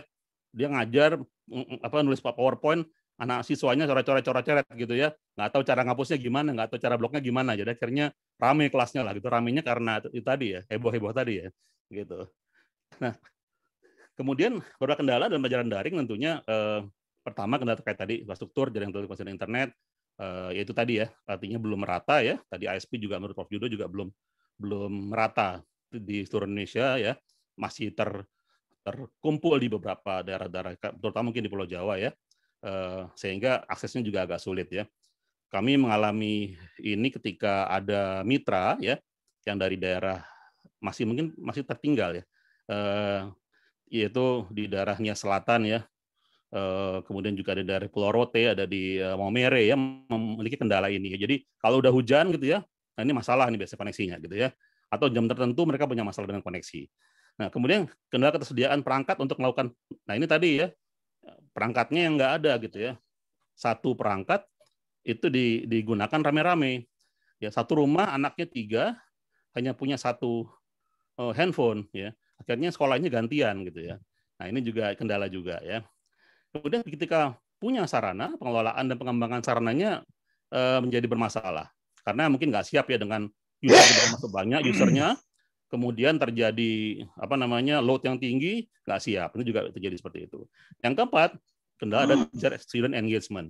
Ini yang terjadi ketika guru sedang mengajar atau sudah sedang mengajar, dalam Vicon siswa itu mematikan kamera, ya atau kameranya hidup nih, tapi semua main game ya kan guru nggak tahu ya matanya lihat ke depan tapi mainnya game gitu ya atau alternatif lainnya di komputer ketika guru dosen sedang menyelesaikan materi ini yang guru tidak punya tidak punya cara untuk mengontrol itu karena kalau dari hanya lihat mata kan satu-satu susah juga ngelihatnya ya dan guru mesti fokus mengajar ya ini masih jadi kendala tapi kita harus harus coba lalui ya gitu ya dengan dengan mengupayakan cara-cara tertentu. Nah tantangannya apa?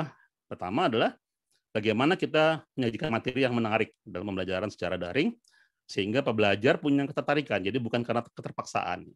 Kalau dipaksa mereka pastikan kita nggak bisa ngontrol karena kita jaraknya jauh.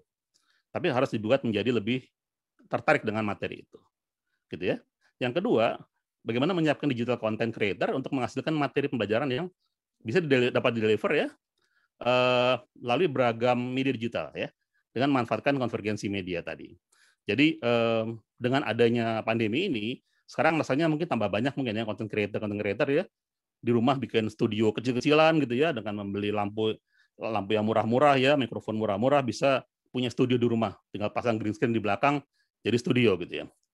Yang kedua, atau yang ketiga, bagaimana meningkatkan akses bagi pembelajar dengan menyediakan berbagai media delivery. Nah, ini misalnya dengan broadcasting ya, kemudian ada cloud meeting atau mungkin dengan video conference dan sebagainya, dan juga layanan over the top atau OTT seperti streaming dan sebagainya. Ini perlu disediakan supaya ada opsi-opsi, ya opsi-opsi yang yang tersedia supaya nanti Bapak belajar bisa memilih opsi mana yang paling sesuai dengan kondisinya. Begitu. Uh, kemudian di informasi di, di kami uh, mungkin sebagai sebagai gambaran saja sharing kami ya mungkin siapa tahu mungkin berbeda di tempat lain ya Eh, kami coba mengintegrasikan berbagai metode delivery pembelajaran misalnya ada virtual class, video conferencing, broadcasting, dan juga layanan over the top ya seperti streaming dan VOD dengan YouTube. Nah ini eh, pertama eh, dengan adanya YouTube ini kita recorded material kita simpan di YouTube sehingga si mahasiswa itu bisa mengulangi lagi materi itu di waktu yang paling sesuai untuk dia. Kadang-kadang setiap mahasiswa belum tentu semuanya mempunyai kemampuan penerimaan yang sama ya sehingga dia perlu mengulang-ulang. Nah kalau di luring malah nggak ketemu, ya kalau pembelajaran luring malah nggak ketemu karena di kelas selesai udah bubar, ya. Atau misalnya kalau jenisnya adalah kategorinya kupu-kupu, kuliah pulang kuliah pulang, udah, gitu ya, nggak ketemu lagi bagaimana bisa mengingat kembali materi yang tadi, gitu ya. Nah yang kedua adalah tujuannya agar materi lebih menarik dan juga dapat dimanfaatkan oleh PT Mitra dalam eh, konteks kami ada tiga yang kami libatkan ya, ada itu dari Stikimnya Selatan, dari Pulau Rote dan Pulau Morotai ya ini di Pasifik ya Pulau Marotai ini. Ini di pulau terdepan semua ya, yang terluar ya, yang berbatasan dengan negara tetangga kita. Kemudian mahasiswa dapat belajar sesuai dengan waktu tadi ya, nyaman baginya. Kemudian mereka bisa lihat di kanal YouTube ya. Kami kebetulan mempunyai stasiun televisi digital UGTV ya, yang eh, kami gunakan untuk bisa eh, bisa digunakan untuk bisa menyampaikan, eh, mendeliver materinya juga tidak hanya di di virtual class atau atau mungkin yang lain, tapi juga di televisi secara live dan bisa disaksikan oleh siapa saja terbuka ya. Tidak harus mahasiswa Gunadarma. Siapa aja boleh menyaksikan itu selama bisa mengakses TV digital ya. Yang keempat adalah uh, untuk wilayah Jabodetabek mereka bisa menyaksikan melalui pesawat televisi ya, digital maupun analog. Jadi kalau punya bisa nangkap siarannya, kalau digital bisa langsung menangkap dengan gambar jernih, kalau analog ya mungkin ada semut-semut dikit lah karena tergantung antena yang dan juga jarak terhadap pemancar yang ada. Kemudian dari uh, sedikit tentang UGTV, tadi saya sempat juga tentang UGTV, karena kami memiliki media ini, jadi memanfaatkan secara maksimal media ini. Uh, yang pertama, uh, UGTV adalah lembaga penyiaran komunitas atau LPK, uh, milik Universitas Gunadharma yang merupakan LPK pertama Indonesia menyajikan siaran televisi digital, ya, free to air ya. Jadi gratis ya, free to air. Selama punya antena, nangkep, bisa silakan nonton, free. Ya, dan di dalam juga ada materi-materi pembelajaran, termasuk materi perkuliahan yang kami juga broadcast ya di melalui TV ini. Jadi untuk yang di Jabodetabek uh, ini terbuka ya. Karena mungkin isunya ada kampus merdeka ya, gitu. Merdeka belajar kampus merdeka. Uh, mungkin dari perguruan tinggi lain yang mungkin uh, ingin manfaatkan silakan bisa bisa bisa digunakan dan uh, mudah-mudahan bisa bisa apa namanya memperoleh ilmu yang bermanfaat. Gitu. Yang kedua, siarannya di kanal 32 UHF TV digital dan 54 UHF TV analog ini masih simulcast karena ASO-nya baru 2022 nggak salah ya November ya. Eh, nggak tahu dimundur lagi atau tidak gitu ya ke analog switch off ya. Jadi kami sudah masih masih simulcast bersamaan digital dan analog. Layanan streaming ini over the top ya ada TV Ground Asia ID ada UTV Co ID bisa diakses lewat web. Kemudian juga bisa melalui UTV mobile Android maupun iOS dan juga melalui kanal YouTube jika masih ingin mengulang materi-materi yang telah disampaikan sebelumnya secara live. Nah, eh, kalau semboyan teman-teman di TGTV menyebutkan adalah tontonan yang menjadi tuntunan gitu ya. Ini menghasilkan itu ya. Jadi tontonan jadi tuntunan supaya bisa menuntun gitu ya eh, ke hal yang tentunya hal yang baik ya. Mudah-mudahan tidak terjadi seperti disampaikan oleh Pak Taufik tadi bahwa ada ada yang apa kesalahan dalam menggunakan media digital ya gitu ya. Akhirnya justru malah untuk hal, -hal negatif gitu. Nah, eh, ini adalah model eh, delivery kami di UTV. Eh, kami terhubung dengan MUX-nya Metro TV ya. Jadi ini kalau di Jawa Tengah sempat rame ya. Di Jakarta itu ada TV komunitas yang gaya benar gitu ya. Langganan MUX gitu ya. Digital ya. Ini belum ada yang langganan MUX digital ya.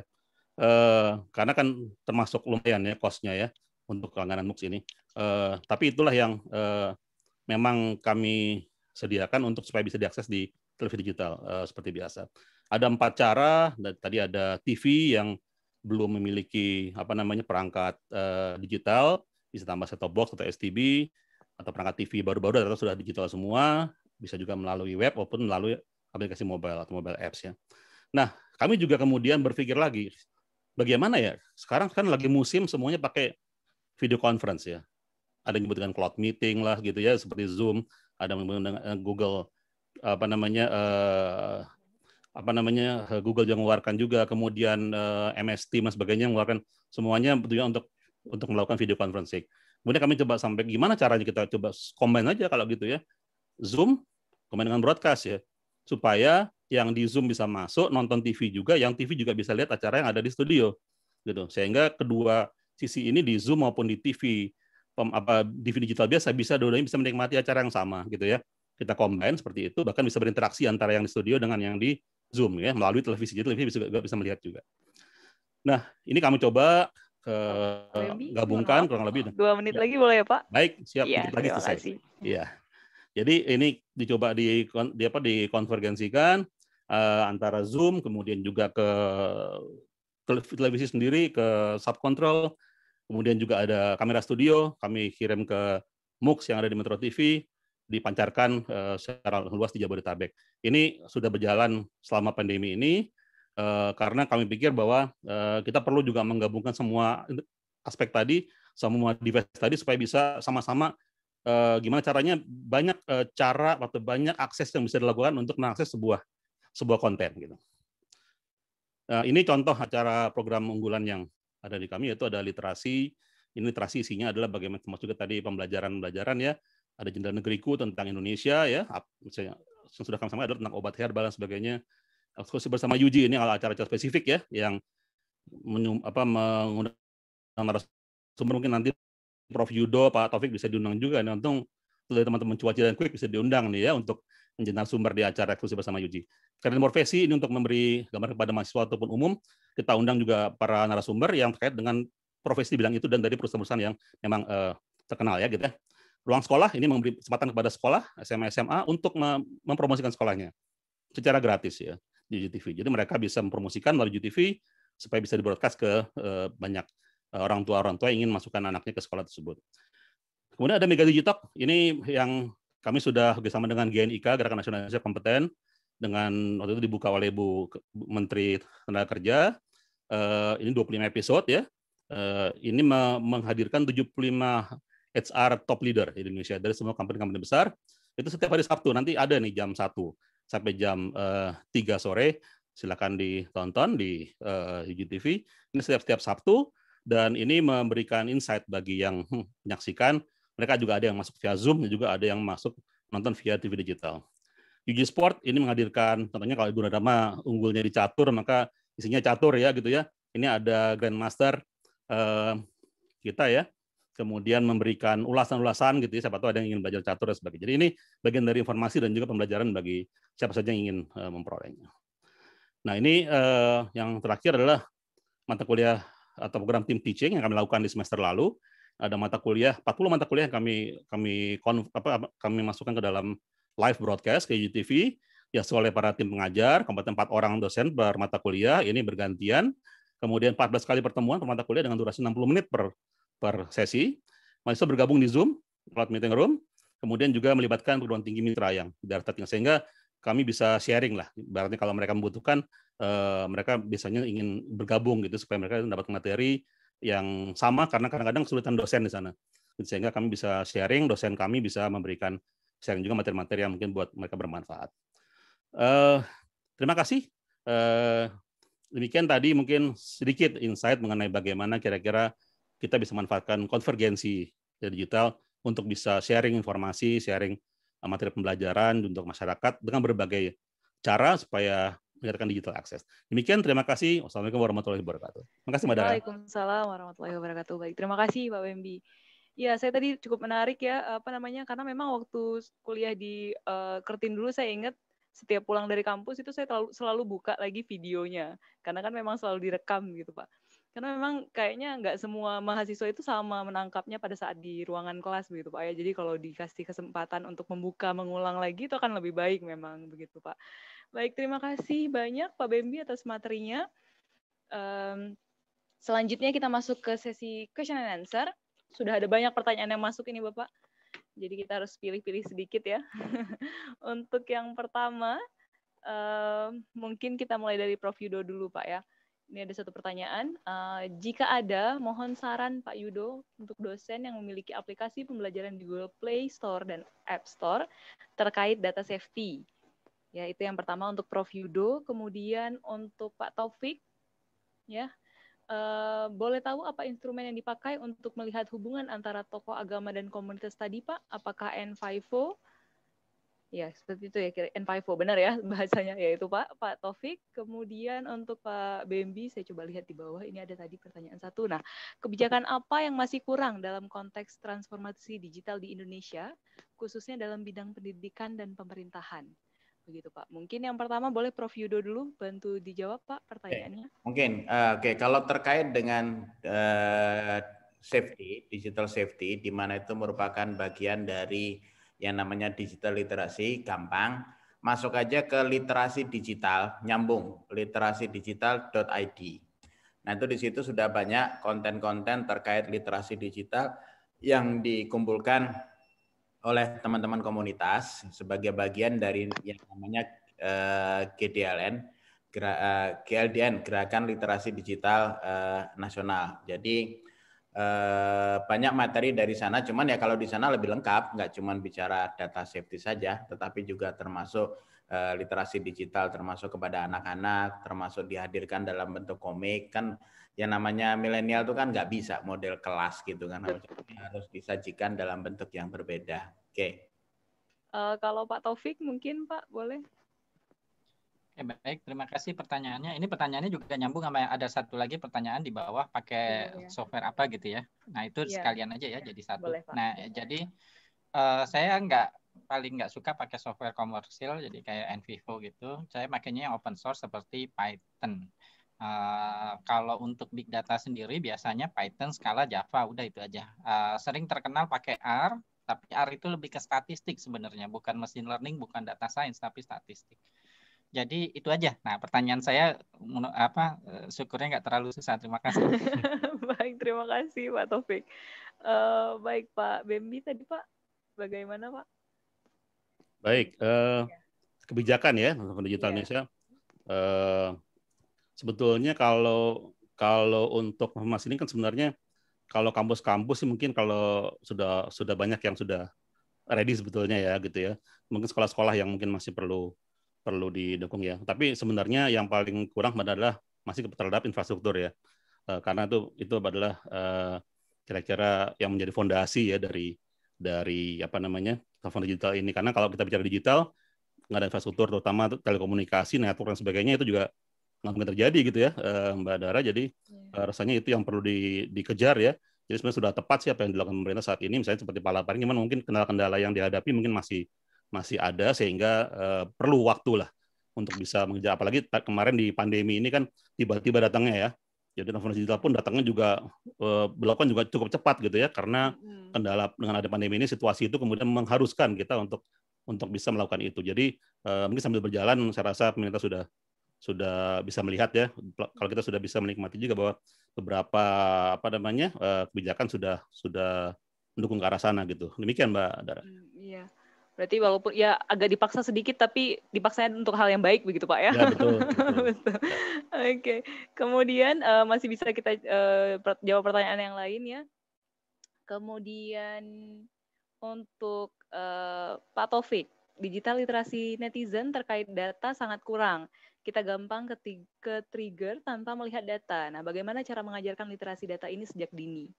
Itu yang pertama. Kemudian atau mungkin boleh dijawab dulu Pak Taufik supaya ini. Oke, okay, ya. baik. Nah, ini lagi-lagi juga pertanyaannya terkait dengan ada lagi pertanyaan di bawahnya atau di atasnya tentang hal itu juga bagaimana mengajarkannya di sekolah tanpa kemudian terlalu fokus ke teknisnya. Nah, ini jawabannya saya jadiin satu aja ya. Boleh, Pak, ya. Nah, uh, uh, syukur alhamdulillahnya kita punya orang-orang seperti Prof Yudo. Nah, orang-orang yang sangat cerdas, sangat pintar dan dekat dengan pemerintah gitu. Nah, ini Pak Prof Yudo mesti kan udah tahu tuh. Uh, saya nggak tahu Prof Yudo dulu anaknya sekolah di apa di Australia juga atau enggak ya. Tapi dari situ sebenarnya kita bisa tahu ya anak-anak saya tuh digital literasinya bagus banget dan mungkin lebih bagus dari saya gitu. Jadi saya kadang-kadang malah di ini di ditegur oleh anak saya. Ayah jangan begitu dalam bermedia sosial dan sebagainya gitu. Jadi bagus sekali mereka uh, tapi kalau di Indonesia memang ya karena faktor ekonomi mungkin jadi teknis yang terlalu dititik beratkan padahal digital literasi tidak terlalu masalah teknis ya nah ini uh, kita berharap kepada uh, orang-orang ya apa seperti Prof Yudo nih yang sangat luar biasa dan dekat dengan pemerintah dan tahu harus bagaimana kemudian uh, digital literasi dilakukan di sekolah-sekolah karena sudah melihat langsung nih eh, di Australia itu saya pikir berhasil sangat bagus sekali. Teknisnya diajarin, digital literasinya juga diajarin. Nah, dulu anak saya di Brisbane itu kelas 5 SD dia ikut kompetisi udah masuk final tuh pemrograman teknis. Tapi digital literasinya juga dapat gitu. Jadi uh, saya pikir kita bisa nyontoh lah, kita bisa lihat yang apa yang sudah terjadi di di ini di Australia gitu ya. Nah, kita juga banyak di sini saya pikir yang audiensnya juga tahu lah seperti apa diajarkan di sana. Jadi tinggal ngopi aja lah.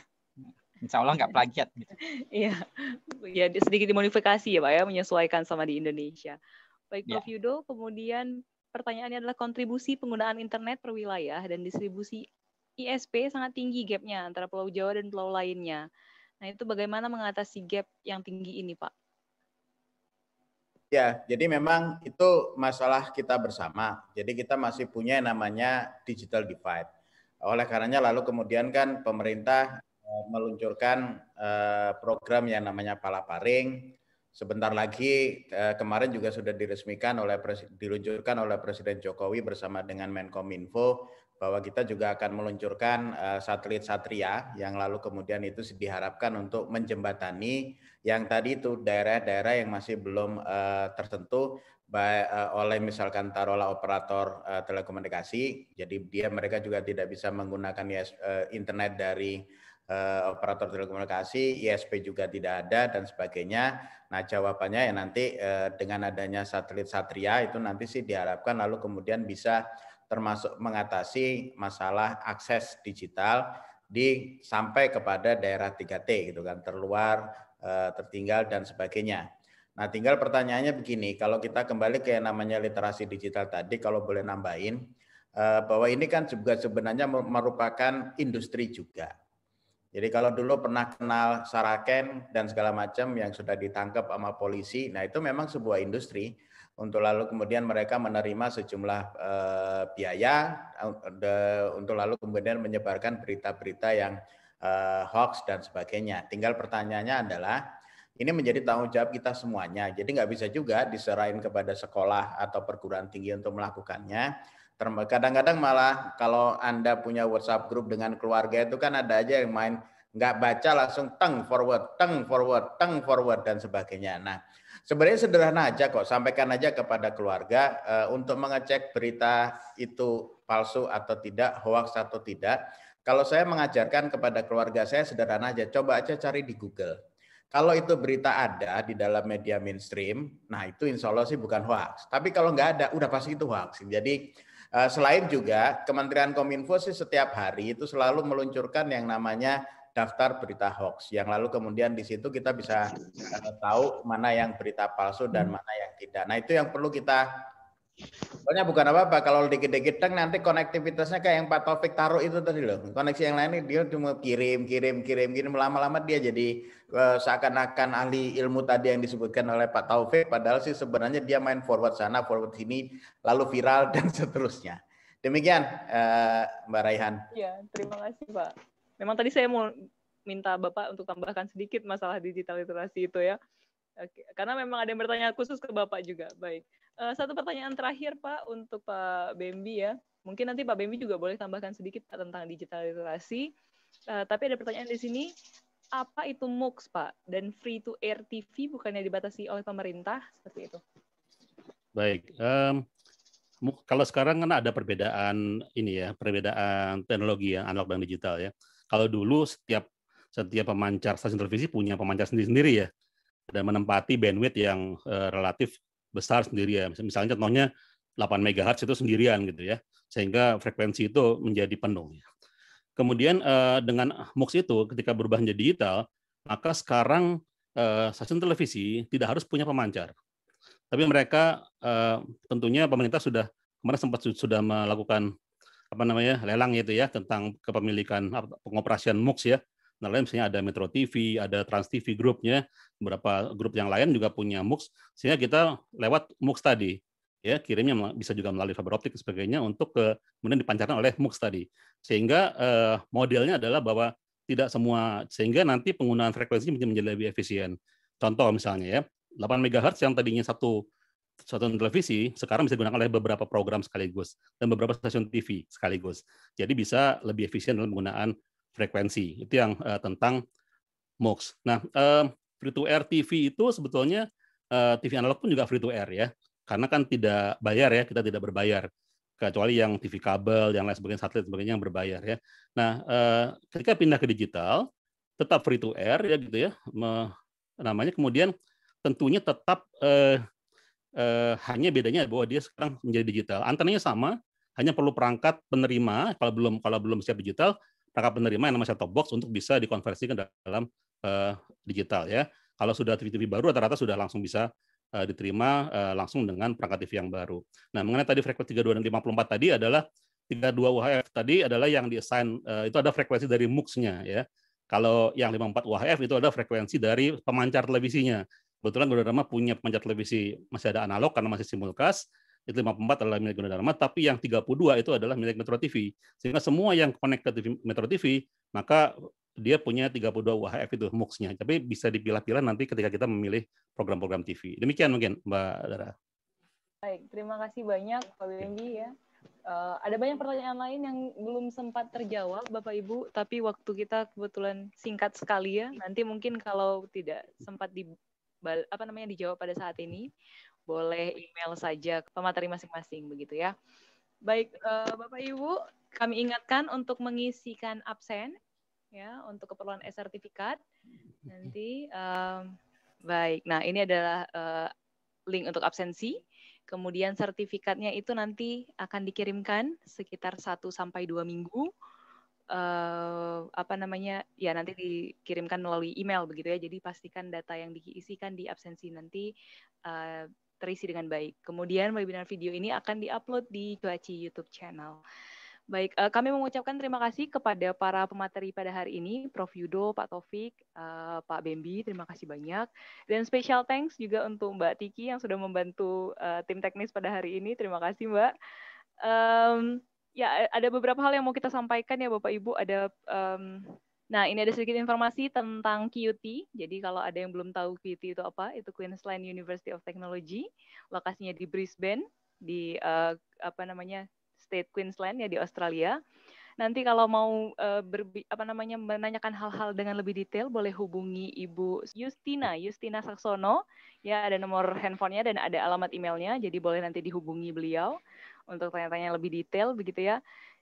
Uh, QT. Kemudian selanjutnya ada sedikit informasi tentang Kertin University. Jadi kalau mau kuliah di Kertin, kampusnya itu ada banyak, ada di Western Australia, ada di Malaysia, ada Singapura, di Dubai dan Mauritius. Boleh uh, kontrak nanti Ibu Patricia Kelly ya uh, untuk tanya-tanya lebih detail lagi. Nah, kemudian uh, kita punya acara lomba mewarnai dan menggambar masih dibuka Bapak Ibu ya. Masih ada satu hari lagi, jadi boleh nanti kalau mau setelah ini anak-anaknya atau ponakan diajak ikutan ya, usia 4 sampai 12 tahun. Uh, ditunggu sampai besok malam Bapak Ibu ya, uh, gratis dan terbuka untuk umum. Siapa pun boleh mendaftar. Nah, itu beberapa karya yang sudah dikirimkan oleh anak-anak ya lucu-lucu gitu. Nanti kita pilihkan pemenangnya. Baik, kemudian uh, Cuaci ini punya merchandise Bapak Ibu. Ya, ada beberapa merchandise kita. Yang pertama di bulan Februari ya walaupun tahun 2021 sudah berjalan dua bulan, tapi kalau mau beli kalender yang cakep gitu ya, masih boleh beli di uh, apa namanya punya Cuaci kita. Isinya adalah foto-foto di uh, Perth, Bapak Ibu, Western Australia, punya karyanya uh, anggota Cuaci. Uh, cukup menarik, siapa tahu nanti sekarang lihat fotonya dulu, nanti bisa datang langsung gitu ya ke Perth ya. Kemudian ada Nilam, parfum dari uh, Atsiri Research Center Universitas Syah Kuala.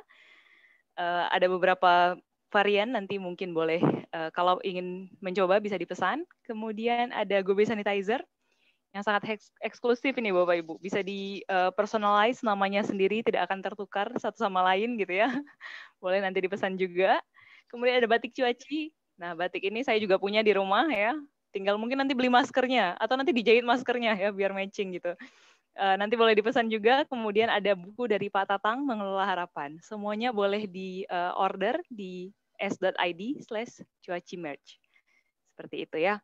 Kemudian, uh, nah bulan depan kita masih ada satu acara yang sangat menarik ya, Kertin Alumni Asia Inspiring Talks. Itu tanggal 20 Maret 2021 jam 10 sampai jam 12 per time via Zoom dan YouTube Live seperti biasa. Nah, ini berkolaborasi sama Kertin Alumni dari Malaysia, Singapura, Sri Lanka dan Hong Kong. Nah, nanti kita akan berbicara tentang reimagining Asia in the post-pandemic future. Nah, boleh langsung diregistrasi di s.id slash kertin alumni webinar. Ya, Bapak Ibu masih dibuka ya. Baik, uh, sampai di sini saja um, materi kita, eh, pertemuan kita pada siang hari ini. Sebelum kita tutup, boleh kita foto bersama dulu Bapak Ibu ya. Uh, kepada Bapak Ibu mungkin boleh hidupkan videonya dan ready dengan senyum terbaiknya gitu. Kita screen capture dulu. Terima kasih banyak Mas Eri sudah dibantu. uh, ya baik Bapak Ibu, begitu saja. Begitu saja pembicaraan kita pada pagi hari ini. Terima kasih banyak atas waktunya. Uh, lebih dan kurang saya mohon maaf. Assalamualaikum warahmatullahi wabarakatuh. Salam sehat. Waalaikumsalam. Salam, terima kasih banyak. Terima kasih semuanya. Pak Yudo, Pak Bensi, Pak Taufik, terima kasih banyak. Dan teman-teman semua yang sudah datang, teman-teman cuaci.